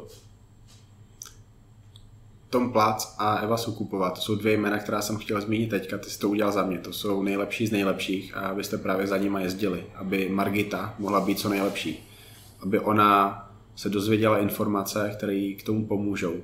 A právě teďka, i když je 47 let, tak se neustále zlepšuje. Zlepšuje se postavu, zlepšuje se výsledkově a určitě i ty ambice rostou, protože proč by nemohly růst, když, ambi- když Margita je lepší a lepší. Vy jedete znovu do Ameriky, jedete na druhou největší soutěž na světě, jedete na Arnold Classic. Ty si analyzoval určitě ty soupeřky, na jaký výsledek si věříte, jaký výsledek plánujete? Tak díval jsem se na to, ještě eh, budeme to probírat, ale každopádně je tam několik finalistek z Olympie. Eh, jsou tam soupeřky, kteří byli třeba dobří, ale končili na Olympii nebo na prestižních soutěžích za Margitou. Je tam Natalie Abraham, která byla druhá na Olympii a zřejmě chce získat první titul vítězský Arnold Classic. Eh, pak eh, je tam eh, kolegyně z Tajska, která byla na Olympii před Margitou a zřejmě taky bude aspirovat. Vzhledem k tomu, že Margita byla loni třetí na Arnold Classic, byl současně historicky nejlepší výsledek v rámci Československa, protože když jsme se dívali na ty výsledky, tak eh, čtvrtý místo měla kdysi na Kasek eh, Jitka Harazimová. Eh, tak samozřejmě se s tím nespokojíme, ale víme, že to pole se mění. A cílem je dostat se do první desítky, ale vždy jdeme na ty soutěže vyhrát nebo být to nejlepší. Protože když to není vyloženě extrémně genetický talent, každý je porazitelný, nemusí se povést forma, nemusí uh, mít, ten člověk může odstoupit ze zdravotních důvodů, takže člověk nemůže kalkulovat, že tam je někdo dobrý a proto tam nepůjdu, protože uh, nevyhraju nebo, nebo nezískám lepší výsledek. Uh, vždycky to je hra přípravy a nervů až do poslední chvíle, než dokončíš tu sestavu nebo to pozování na tom pódiu sportovci, hodně kulturisti mají mindset nastavený tak, že já jdu vyhrát a opravdu tomu věří. Je tady to ten správný přístup, anebo by tam měl být nějaký realistický přístup, protože samozřejmě když pojede Milan Šádek na New York Pro a budou tam závodit eh, Sergio Oliva, bude tam závodit Big Ramy, bude tam závodit například eh, Nathan Diasha, tak Milan Šádek by asi neměl mít v hlavě, že vyhraje, protože to není realistický přístup. Ale možná je správné je tam s tím, že vyhraje. Tak eh, jak to máte vy? S čím vy počítáte? Eh, vždy člověk musí dorazit co nejlíp připravený a nesmí mít strach z těch nejlepších. Eh, lidský faktor tam může zahrát do konce, takže může tam nastat nějaký odstoupení a tak dále, ale každopádně taky musí realisticky člověk, hlavně z hlediska pak pozdějšího eventuálního zklamání, tu realistickou verzi jsem dobrý, ale ještě nejsem tak dobrý, nemám tak mohutný svaly nebo vypracovaný, jako te, třeba ten člověk, který tam jde, ale chce se k němu přiblížit, chce s tím soutěžit, chci mít fotky, chci mít srovnání, chci stát vedle něho a to, o to jde. Stát vedle těch nejlepších, eh, přiblížit se k ním a pak jejich zbraněma eh, de facto, pokud to bude možné, porazit.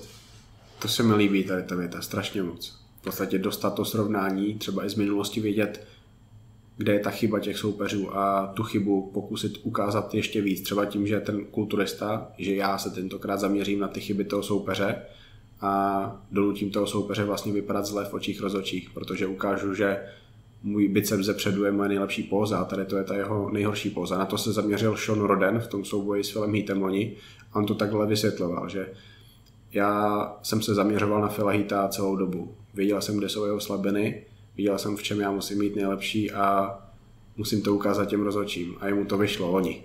Co ty říkáš na ty výsledky Lenské olympie? Loňskou olympii jsem sledoval z prvních řad, seděl jsem hned za eh, rozhodčíma. Naštěstí Šakou Níla neposadili hned přede mnou, ale kousek vedle mě, tak jsem eh, docela, i když bojoval s výhledem, tak jsem viděl. Eh, přesně jsem viděl. Znám z těch výstav a z těch soutěží, z jako lidí, kteří chodí po nich, jak Šouna, tak Fila osobně. Eh, to znamená, že měl jsem možnost několik let eh, pozorovat a přesně tady ten psychologický souboj jsem viděl. Eh, viděl jsem, že on ty slabiny odhadl a používal je v každém momentě, kde to bylo použitelné. Takže to byl souboj nervů a souboj taktický. Zvládli rozhodčí tady to rozhodnutí? Bylo to správné rozhodnutí? rozhodnutí to bylo správné, protože Phil měl handicap. On předtím absolvoval že jo, operaci břišní kýry a to vyboulení tam bylo vidět a tu strukturu břišních svalů eh, nedokázal pak maskovat a udržet. A stejně jako nemá vyhrávat na soutěžích, eh, kdo má, dejme tomu, nevhodný tetování, gynekomastii, eh, extrémní strie, protože rozhodujeme jako rozhodčí o estetice. Takže v podstatě takhle, na takhle vrcholní soutěži tohle rozhodčí museli brát potaz a i když hodně jich tam přálo vidět, eh, Fila, jak dobije osmý titul, tak bohužel zdraví tomu nepomohlo. No. Ty jsi byl na Olympii i v těch letech předchozích. I rok 2017 byl kontroverzní z toho pohledu, jestli měl Phil Heath vyhrát, protože ten defekt v podobě uh, horšího břicha tam byl. Tam už to začínalo. No. Jak jsi viděl třeba ten rok 2017? Pamatuješ si na to? Uh, pamatuji, uh, tam jsem ještě Philovi fandil, tam bych byl na váškách, takže tam jsem mu to přál, ale koutku duše už jsem tušil, že s tím bude problém a vzhledem tomu, že sám jsem absolvoval eh, před Vánocema už po druhé operaci břišní kýly, eh, tak vím, co to obnáší a že to břicho není tak stabilní a pak člověk musí strašně opatrně tu rekonstrukci udělat. Poprvé se mi to stalo eh, někdy před sedmi lety, jsme byli v zábavním parku v Itálii a na vodních atrakcích, když jsem napínal břicho, začal jsem pocitovat bolest. No a po půl hodině, po hodině, když se mi to povedlo reponovat, tak jsem na to přišel jako lékař, že je to kýla. Tak jsem to chvíli nechal, pak, pak došlo k operaci a stejně, když jsem se vrátil k silovému cvičení, eh, tak ta síla byla větší, než eh, by zvládly ty svaly a postupně se to začalo obnovovat takže teď jsme přistoupili k radikálnější operaci.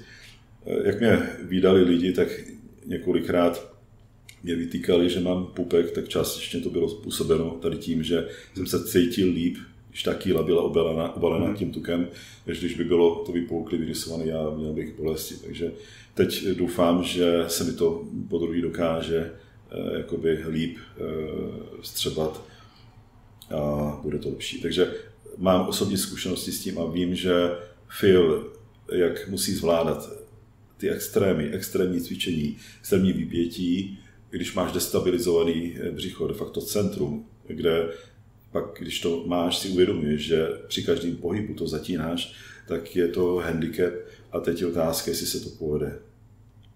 Jako rozhodčí, jako lékař, jako jeden z největších odborníků na ten sport, jako analytik, Myslíš si, že Phil ještě někdy bude závodit? Myslíš si, že pokud závodit bude, tak eh, zvládne na tady tom problému zapracovat, aby to aspoň nebylo tolik vidět?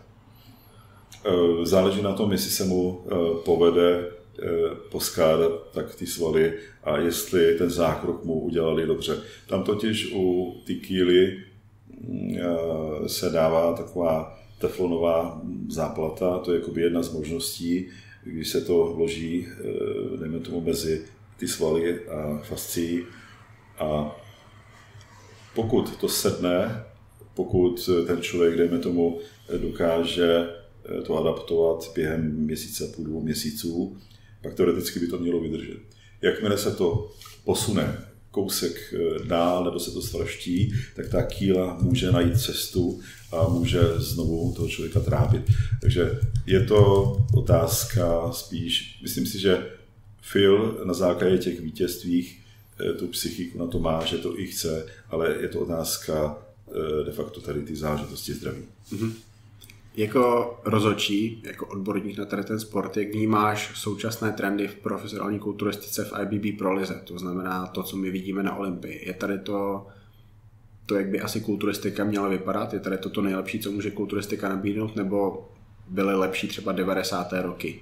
A rozočí by se měli pokusit vrátit to tam. Uh, stejně jako vrcholový sport, kulturistika uh, čím dál víc začíná být jakoby soubojem nejen eh, jakoby sportovní nebo těch lidí, ale je to i souboj nových eh, trendů, eh, souboj dosažení hranice lidských možností. Myslím si, že teď už to začíná jít do takových extrémů, kde někdy, někdy když slyšíš ty příhody, že ten člověk tam musí doplazit, aby zvládnul eh, to sportovní zápolení a aby, aby to přežil a pak eh, je rád, že to přežil a nějakým způsobem to musí vydechávat. Tam eh, končí, končí ta představa toho ideálního sportu.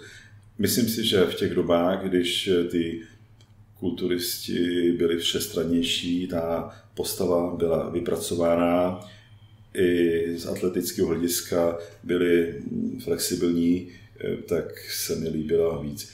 Najdou se i dnes, eh, není problém, lidi, kteří udělají provaz, jsou flexibilní, zvládají ty diety a nápor všech těch věcí, ale opravdu v těch extrémech vidíme, že už eh, to začíná nabírat někdy komiksový charakter.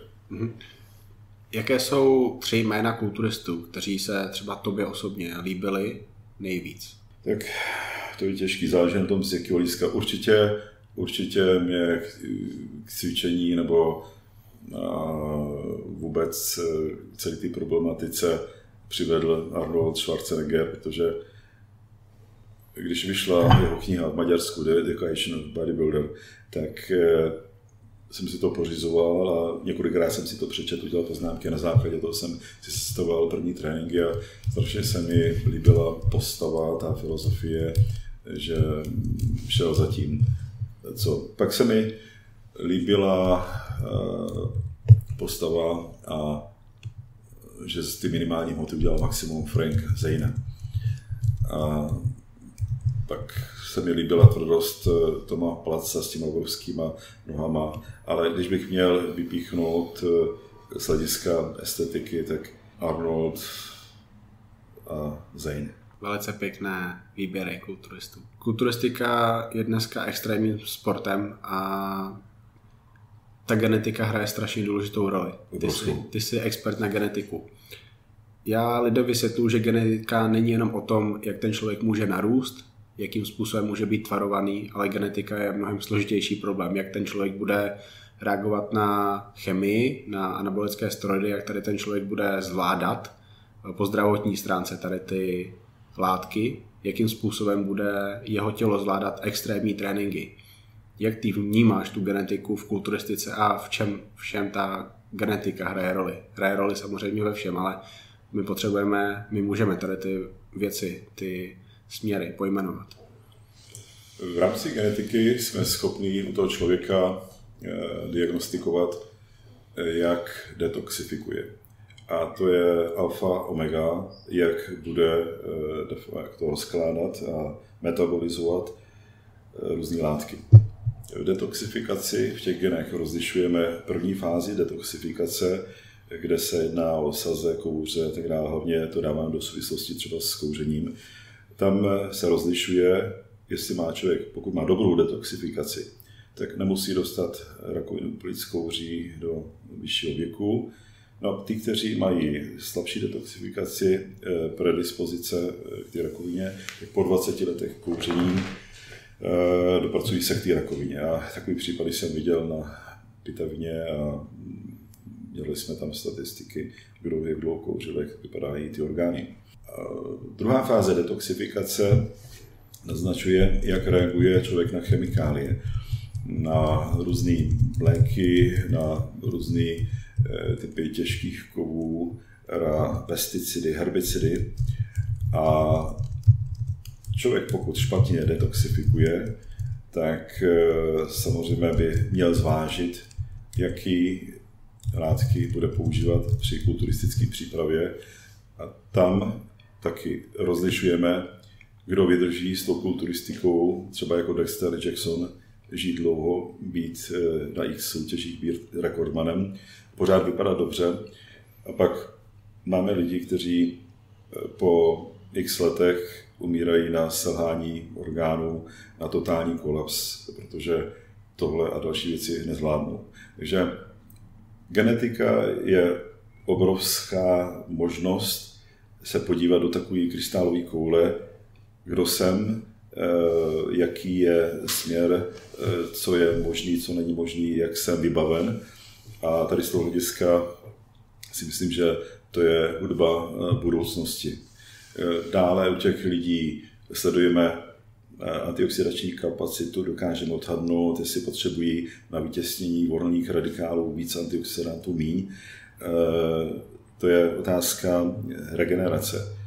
Samotné cvičení tvoří obrovské množství volných radikálů. Teď ty chemikálie a další věci, takže to je potřeba taky dobře odhadnout, eh, jak to kompenzovat, jakým způsobem eh, toho člověka eh, detoxifikovat, vyčistit. A pak je to řada, řada jakoby dalších věcí, takže genetika hraje a bude hrát obrovskou roli a čím dál tím více to vyvíjí z toho hlediska a stává se to jakoby diagnostickou součástí.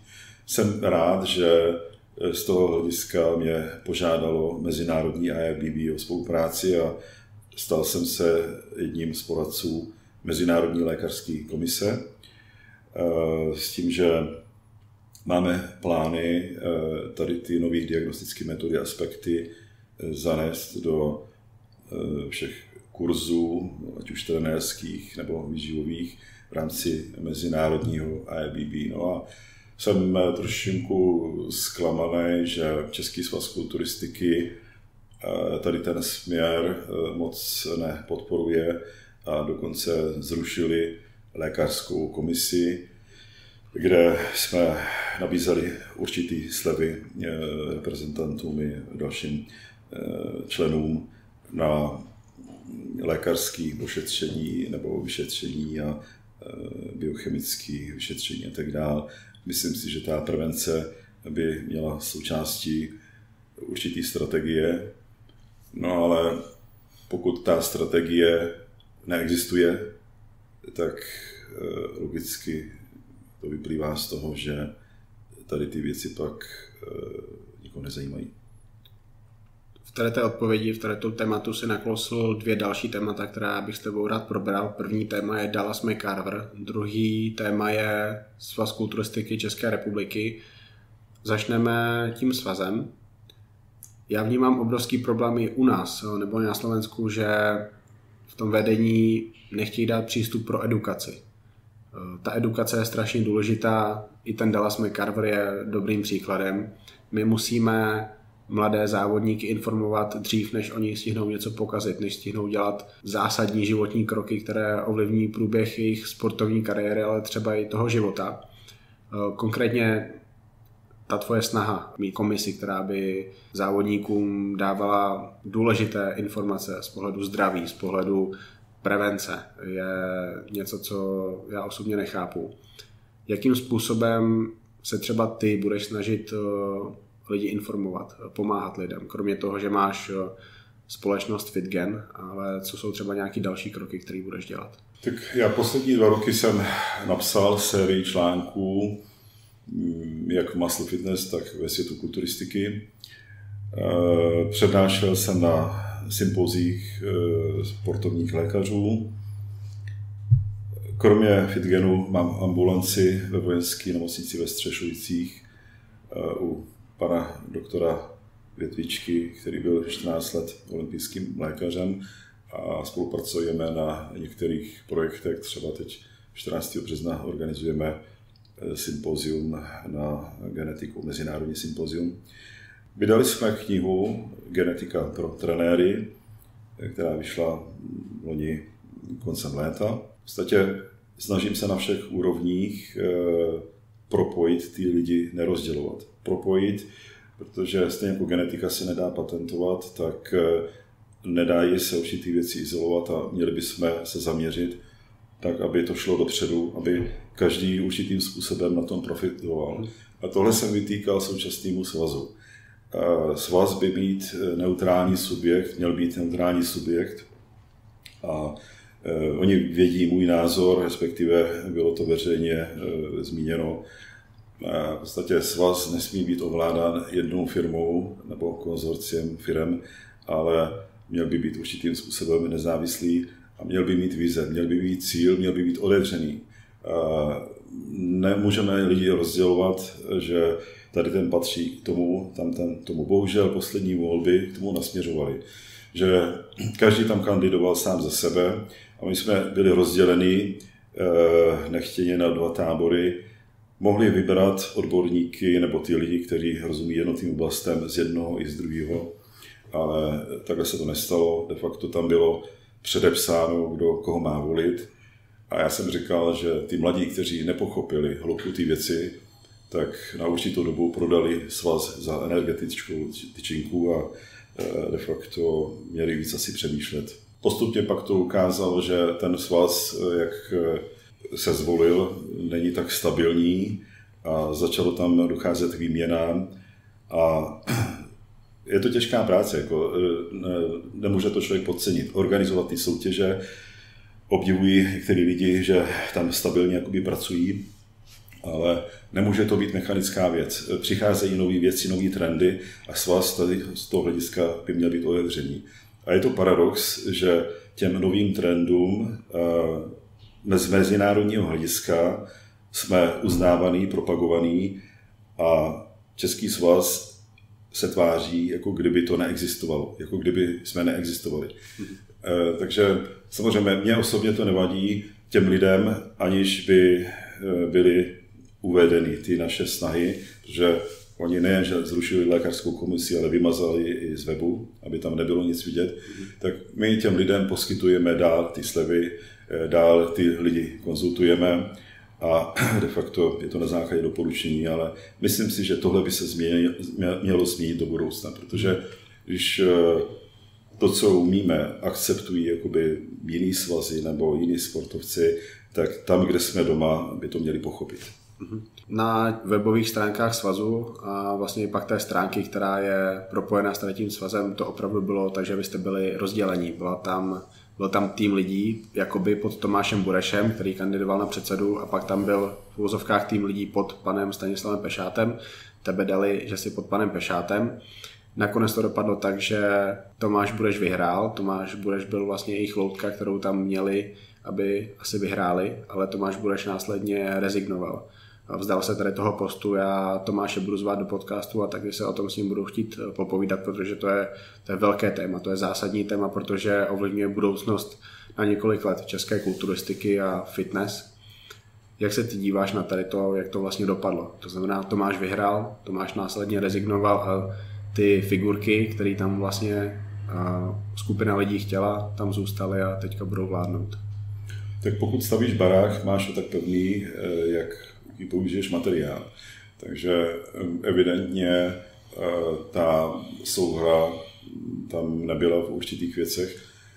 E, já Tomáše uznávám, vynikající sportovec, e, perfektně se s ním baví a tak dále, v podstatě nemám nic proti němu. A myslím si, že pozice prezidenta svazu je jak společenská záležitost, tak organizačně, takticky musí mít ten člověk talent a musí mít jak tuzemský, tak mezinárodní vztahy. Takže těžko by se našel optimální prezident, hmm. ale tady ty aspekty tam musí figurovat. E, I co se týče ostatních pozic, tak si myslím, že oni měli nezávisle rozhodovat, neudělat dvě skupiny, ale vybrat ty lidi. A já pak následně jsem ještě navrhoval, bavil jsem se s několika lidma. Dobře, tak jste vybrali, ale ten člověk může mít kolem sebe poradce. E, může nějakým způsobem vytvořit tým i z těch dalších, ale striktně, sterilně, separátně to bylo rozloženo a pravděpodobně pod určitou taktikou e, sterilně se to oddělilo. Takže tady to je škoda, ale musíme to respektovat a každý, kdo je činný, respektive má e, nějaký záležitosti, kteří řeší se svazem, tak e, dokáže posoudit, kde má slabiny a kde má silné stránky. Mm-hmm. Tvým favoritem, aspoň v tom posledním eh, hlasování, byl pan Stanislav Pešat. Tady ten člověk samozřejmě udělal nějaké chyby, které my známe z minulosti, ale zároveň je to velice silný protikandidát, který má, který má velice dobré kontakty v zahraničí. Proč si myslíš, že on by třeba v budoucnu měl znovu kandidovat a proč by on byl dobrým prezidentem svazu?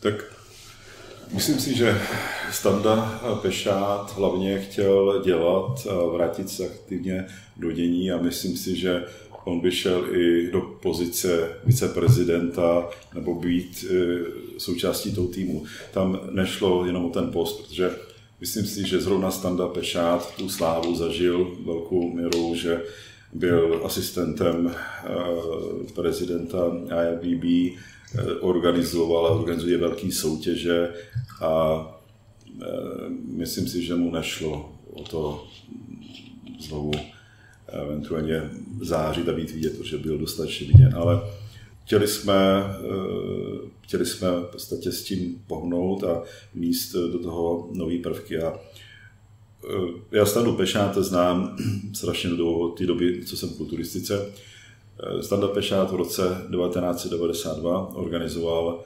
mistrovství Evropy, kde já jsem byl jako asistent reprezentačního trenéra, Margita tam soutěžila a já jsem tam přednášel pro zahraniční delegace adaptogeny rostlinního původu a jejich využití ve vrcholovém sportu. Eh, takže ze standou pak jsme se viděli, když jsem byl jakoby lékař týmu na mistrovství Evropy v Budapešti, eh, na, eh, tam bylo soustřední a standa byli u toho, když jsem dostal zákaz startu kvůli e, zákazu na zahraniční soutěži, kvůli tomu jsem měl ten distanc a standa byl zrovna na tom Grand Prix Bohemia pozici hlavního rozhodčího, ale dostal od prezidenta tehdy příkaz mě nepustit na soutěž. Takže Eh, není to člověk, kterýho bych znal chvilku. Já Standu znám, věděl jsem i o nějakých přešlapech chybách, které mu jakoby přisuzují, ale nemůžeme žít a posuzovat lidi z minulosti, že v minulosti něco udělali. Já si myslím, že z každého musíme vybrat pozitiva a jít. Jsme malý stát, jsme malá organizace, málo podporovaná organizace. A pokud pořád budeme řešit bojůvky mezi těma jednotlivými táborama, tak se nikam nedostaneme. Mhm.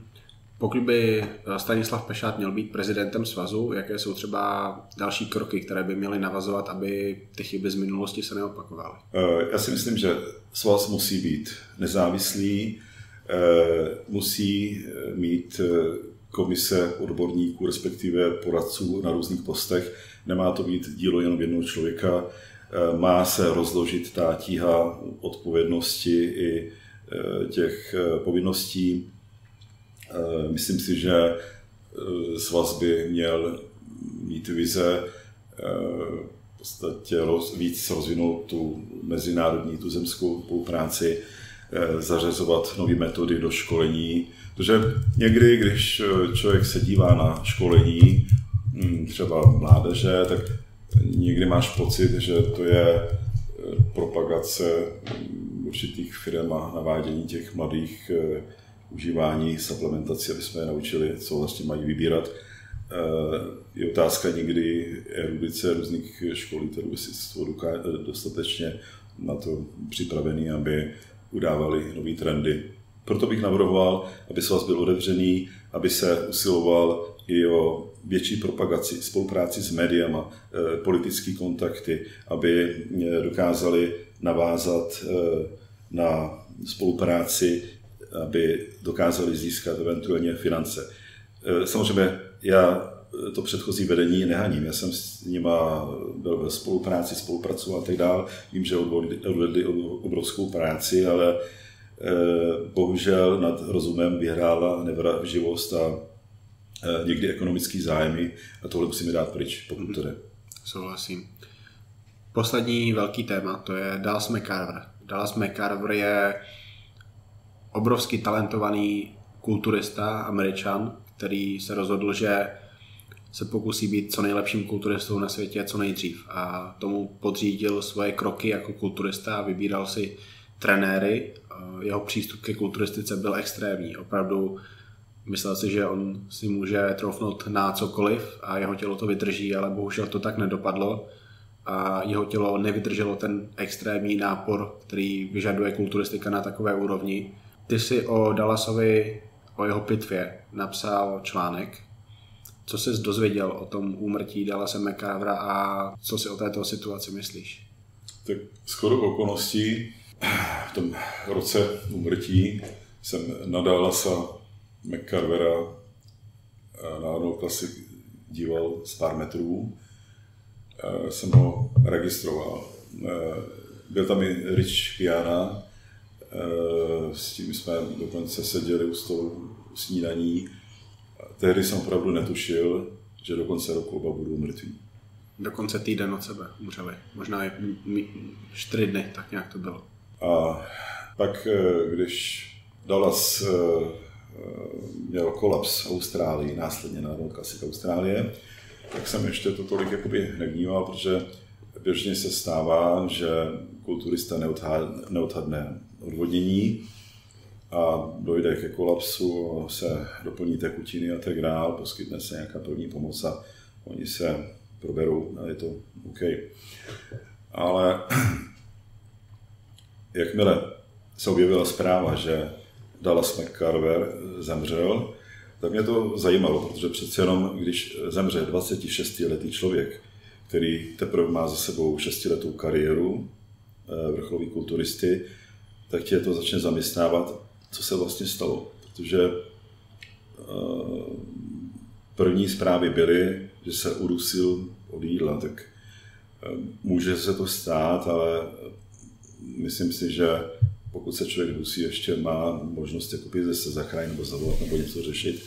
Eh, taky se mi stalo, že se mi zaseklo jídlo, je to nepříjemný, ale eh, budíš. Začal jsem potom pátrat, eh, de facto čím prošel Dallas, jak se měnila jeho váha, jaký tam byly problémy. A teď se ke mně dostala jeho pitevní zpráva, pitevní protokol, dále policejní hlášení, a pak biochemický rozbor krve z femorální žíly, tak jsem začal stavět rekonstrukci, co se vlastně stalo. Na základě pitevní zprávy udal jsem Carvera, tam byla hypertrofie levé komory, eh, dilatace srdce, bylo tam třikrát zvětšení srdce. Byly tam zvětšené orgány, eh, játra, ledviny, plíce, Dokonce tam byl drobný nádor eh, na štítný žláze, to nesouviselo s úmrtím. A byly tam strie a další známky, v podstatě, který člověk eh, potom může očekávat. A začal jsem nad tím přemýšlet v podstatě, k čemu vlastně tam mohlo dojít. V těch zprávách je pozitivní rodinná anamnéza a kardiovaskulární nemoci, eh, úmrtí v rodině, takže pak jsem přemýšlel, pokud by ten Dallas McCarver předtím eh, absolvoval ještě hlubší lékařské vyšetření, genetické vyšetření, tak pravděpodobně by ho varovali, že patří do rizikové skupiny. Ale on samozřejmě po kolapsu v Austrálii absolvoval eh, vyšetření, absolvoval i kardiologické vyšetření. On jak to tam píšou, snad se nezajímal ani o výsledek těch zpráv, Jan Vyzved. Jestli můžu doplnit, on se nezajímal a byl pozvaný na kontrolu, na kontrolu už nepřišel. Přesně tak. Tady, tady v podstatě začíná eh, ta myšlenka, že on podcenil svůj zdravotní stav a jeho rodina i on si mysleli, že ta dušnost, která se u něho začínala objevovat, je důsledek eh, jaksi dětského astmatu a přechozených nějakých komplikací plic. Člověk není stavěn fyziologicky na hmotu 152-156 kg. Při jeho výšce to byla enormní zátěž, kterou srdce muselo přepumpovat a ty cévy musely ustát. Byl rizikový geneticky, takže díky tomu, že se ti zvětší srdce, tak se tam prodlouží vedení a zhorší se tam cévní zásobení, protože pokud dojde k hypertrofii a dilataci, tak počet těch cév se nerozmnoží. Tam akorát se odtáhnou, můžou tam vznikat nedokrovené oblasti. To je jedna věc. Dále, on na základě toho biochemického rozboru, kromě anabolických steroidů, tam měl e, zbytky marihuány, metabolity. Další a další věci, to byla souhra, no a nakonec podle mýho sice mohl být nějaký vyprovokující moment, že mu zaskočilo jídlo, ale on zemřel na zástavu srdce, protože hmm. zrovna v tom momentě eh, v podstatě to srdce došlo k tomu závěru, vypovědělo službu a pak je nakonec i ten závěr překvalifikován, že on se neudusil, ale hmm. eh, to srdce už to nedalo dál. A je to právě varování v těch silových sportech, že geneticky každý máme e, sice jiný jakoby svalový složení, máme jiná kolagenní vlákna, ale pokud někdo se pustí na vrcholový úrovni do e, silového sportu, tak by měl znát svůj zdravotní stav. I ty trenéři by měli znát svůj zdravotní stav, nebo respektive těch svěřenců, protože oni pak hazardují s cizím zdravím a to je strašně důležité, aby člověk si byl vědom, že jsem eh, nebo mám predispozice eh, z určitého hlediska a je potřeba přizpůsobit trénink a to jídlo. Myslíš si, že každý trenér, který připravuje svého sportovce na soutěž v kulturistice nebo ve fitness, by potom svěřencovi měl vyžadovat eh, krevní testy? Určitě ve 100% případů, pokud jde o kulturisty, kteří berou anabolické steroidy nebo zakázané látky. Tak jedna věc jsou krvní testy, druhá věc, pokud řešíme doping, záleží na tom, jestli ten trenér podporuje tak či onak eh, toho závodníka, ale eh, každopádně eh, měl jsem několik případů, že přišli za mnou lidi, kteří byli poškozeni, ať už sami sebou nebo trenéry a pak jsme mu dělali biochemický rozbor a bylo tam vidět, že dlouhodobou absencí pauz nebo nesmyslným dávkováním různých eh, látek, které ty lidi užívali. Eh, byly tam krátce či dlouhodobě poškozená játra, byl tam posun v lipidovém spektru, byl tam hormonální rozvrat a samozřejmě to jsou signály. Pokud je to krátkodobě, tak ten člověk se z toho dostane. Pokud je to dlouhodobá alterace, jsou to léta, tak ten člověk může mít následky do konce života, může ho to opravdu poškodit. A to je na zvážení, eh, na jaký úrovni to dělá, jestli to má cenu a jestli o tom ví, jestli si uvědomuje vlastně, co se děje. Na základě toho případu, situace Dalasa McCarvera, máš nějaký vzkaz pro mladé kulturisty, aby se jim nestalo něco podobného? Tak pokud se někdo pustí do kulturistiky na kondiční úrovni, eh, tak eh, musí vědět, že to je prospěšný, že se mu nic nestane, že je to na kompenzaci stresu, je to pro lepší životní styl. Pokud někdo se pustí do závodní kulturistiky a začíná užívat suplementy, chemikálie, najednou změní to prostředí v těle a na nižší amatérský úrovni, eh, dejme tomu, nehrozí taková rizika jakoby na ty vyšší nebo profesionální úrovni, ale každopádně pokud někdo začne takhle experimentovat s tělem, tak by měl znát svůj zdravotní stav a měl by absolvovat zdravotní testy, biochemické testy a měl by se o něho starat i lékař, měl by ho vidět lékař, protože eh, může tam být něco skryto, co nemusí odhalit eh, ani ten trenér, ani samotný ten svěřenec, ale může se to objevit až v momentě toho problému, když už je to pozdě. Mhm. Františku, děkuji ti moc za to, co jsi mi během tady těch dvou hodin věnoval. Byly to úžasné informace. Doufám, že si je užijou lidi třeba ještě víc než já. To by byla pecka, protože já jsem si tady to užil opravdu hodně. S lidma nakonec dávám bleskovky. Bleskovky jsou krátké otázky, někdy ještě kratší odpovědi. No a moje první otázka je, kolik jazyků umíš? Šest. Úžasné. Jaká je tvoje nejoblíbenější restaurace na světě? No, tak sushi a steakhouse. Máš nějakou vytipovanou? Eh, jezdím po světě, takže pravidelně jím v Hard Rock Cafe. Rada na biznis pro české kulturisty. Co by měli, jedna věc, kterou by měli začít dělat, aby byli úspěšnějšími biznismeny? Starat se o svůj image, propagaci, média a mít lidi, kteří eh, se jim o to postarají. Mm-hmm. Jaký vnímáš největší problém v dnešní kulturistice, ať už je to kulturistika česká nebo třeba i ta profesionální? Eh, nedokážu se tolik prodat a myslím si, že eh, v rámci té propagace by se měli zaměřit, aby neměli pocit méněcenosti, aby víc vnímali, že v jádru kulturistika je zdravý sport, ale nesmí se posuzovat na základě jenom toho špatného. Mm-hmm. Pokud bys měl rok žít v nějakém historickém období, jaké historické období by to bylo a proč? Jak jsem tě říkal, zajímá mě období eh, stěhování eh, národů a ty bojové sporty, tak asi nevím, jak dlouho bych to přežil, ale asi by mě zajímalo tady to období. Doufám, že by si to přežil celý rok.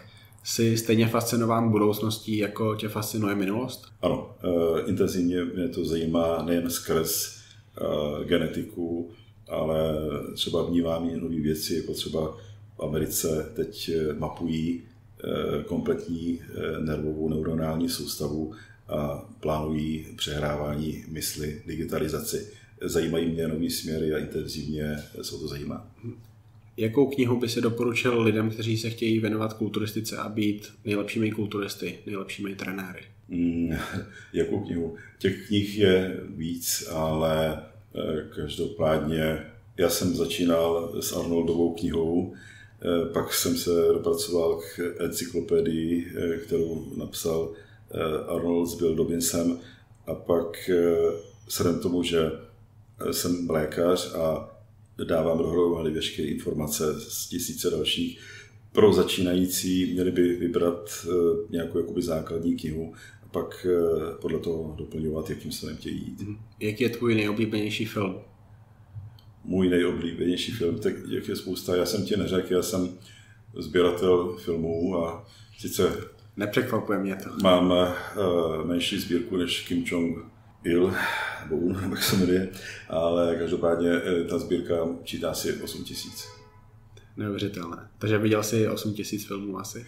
Uh, neviděl jsem vše, ale s, mám přehled. To znamená, že počínají takovýma filmama s kostma, jako je od Federica Felliniho Amarcord, eh, konče novými záběry sledují, takže dokáže mě zaujmout skutečný filmový umění i eh, filmy typu Expendables, nebo teď se těším na Terminátora 6 eh, s Arnoldem a s Gabrielem, který ho znám osobně. Kdo je tvůj nejoblíbenější akční herec současnosti? těch je taky víc. Eh, mám rád filmy s Matt Damonem a mám rád filmy, kde je akce a není, nemá to jenom hloupý děj a skutečně dokáže to člověka táhnout do děje. Ale jinak pozorně sledují jiný hrdiny, třeba pořady o přežití, protože myslím si, že výkony Béra, kde se, se vyrovnávají i těm největším akčním akcím. S přítelkyní teďka na Netflixu sledujeme dokumenty, už asi měsíc, a nejoblíbenější poslední je Wild China. Procestoval jsi už Čínu? Eh, Číně jsem bohužel ještě nebyl, takže není vyloučeno, že se tam podívám do budoucna, ale každopádně Čína patří mezi země, které obdivují a mám rád jejich historii díky eh, tady těm podobnostem. Myslím si, že čínská historie je bohatá a obdivuhodná. Co děláš, když letíš letadlem na druhou půlku světa? Berou sebou občas knížku, ale pak se moc číst nechce. Občas se podívám na aktuální eh, filmy, které ještě nejsou v kinech a letadle to zrovna dávají a pak eh, přemýšlím. Někdy, když zrovna nic nedělám, ale intenzivně v hlavě konstruují, eh, co budu psát nebo jakým způsobem by se dal nějaký problém vyřešit. Poslední otázka. Kdo tě nejvíc zaujal v československé kulturistice za poslední tři roky? Eh, Československý kulturistice poslední tři roky, tak eh, mě zajímalo hodně lidí, ale bylo překvapení pro mě eh, objevení že Křižánka, který je teď na titulní straně časopisu. Myslím si, že má obrovský potenciál a jednou bych ho chtěl vidět soutěžit na Olympii. Doufám, že ho tam uvidíme, doufám, že, doufám, že si ještě chvilku počká, protože pro ně je prospěšný být v Elite Pro, ale za tři, za pět let bylo by to moc krásný. Děkuji za to, co jsi mi dneska dal. Doufám, že se to bude každému líbit a doufám, že i ty jsi to užil, že jsi takhle dlouho s někým, aspoň v České republice, nepopovídal o kulturistice. Děkuji. Taky děkuji za pozvání a za příjemné povídání.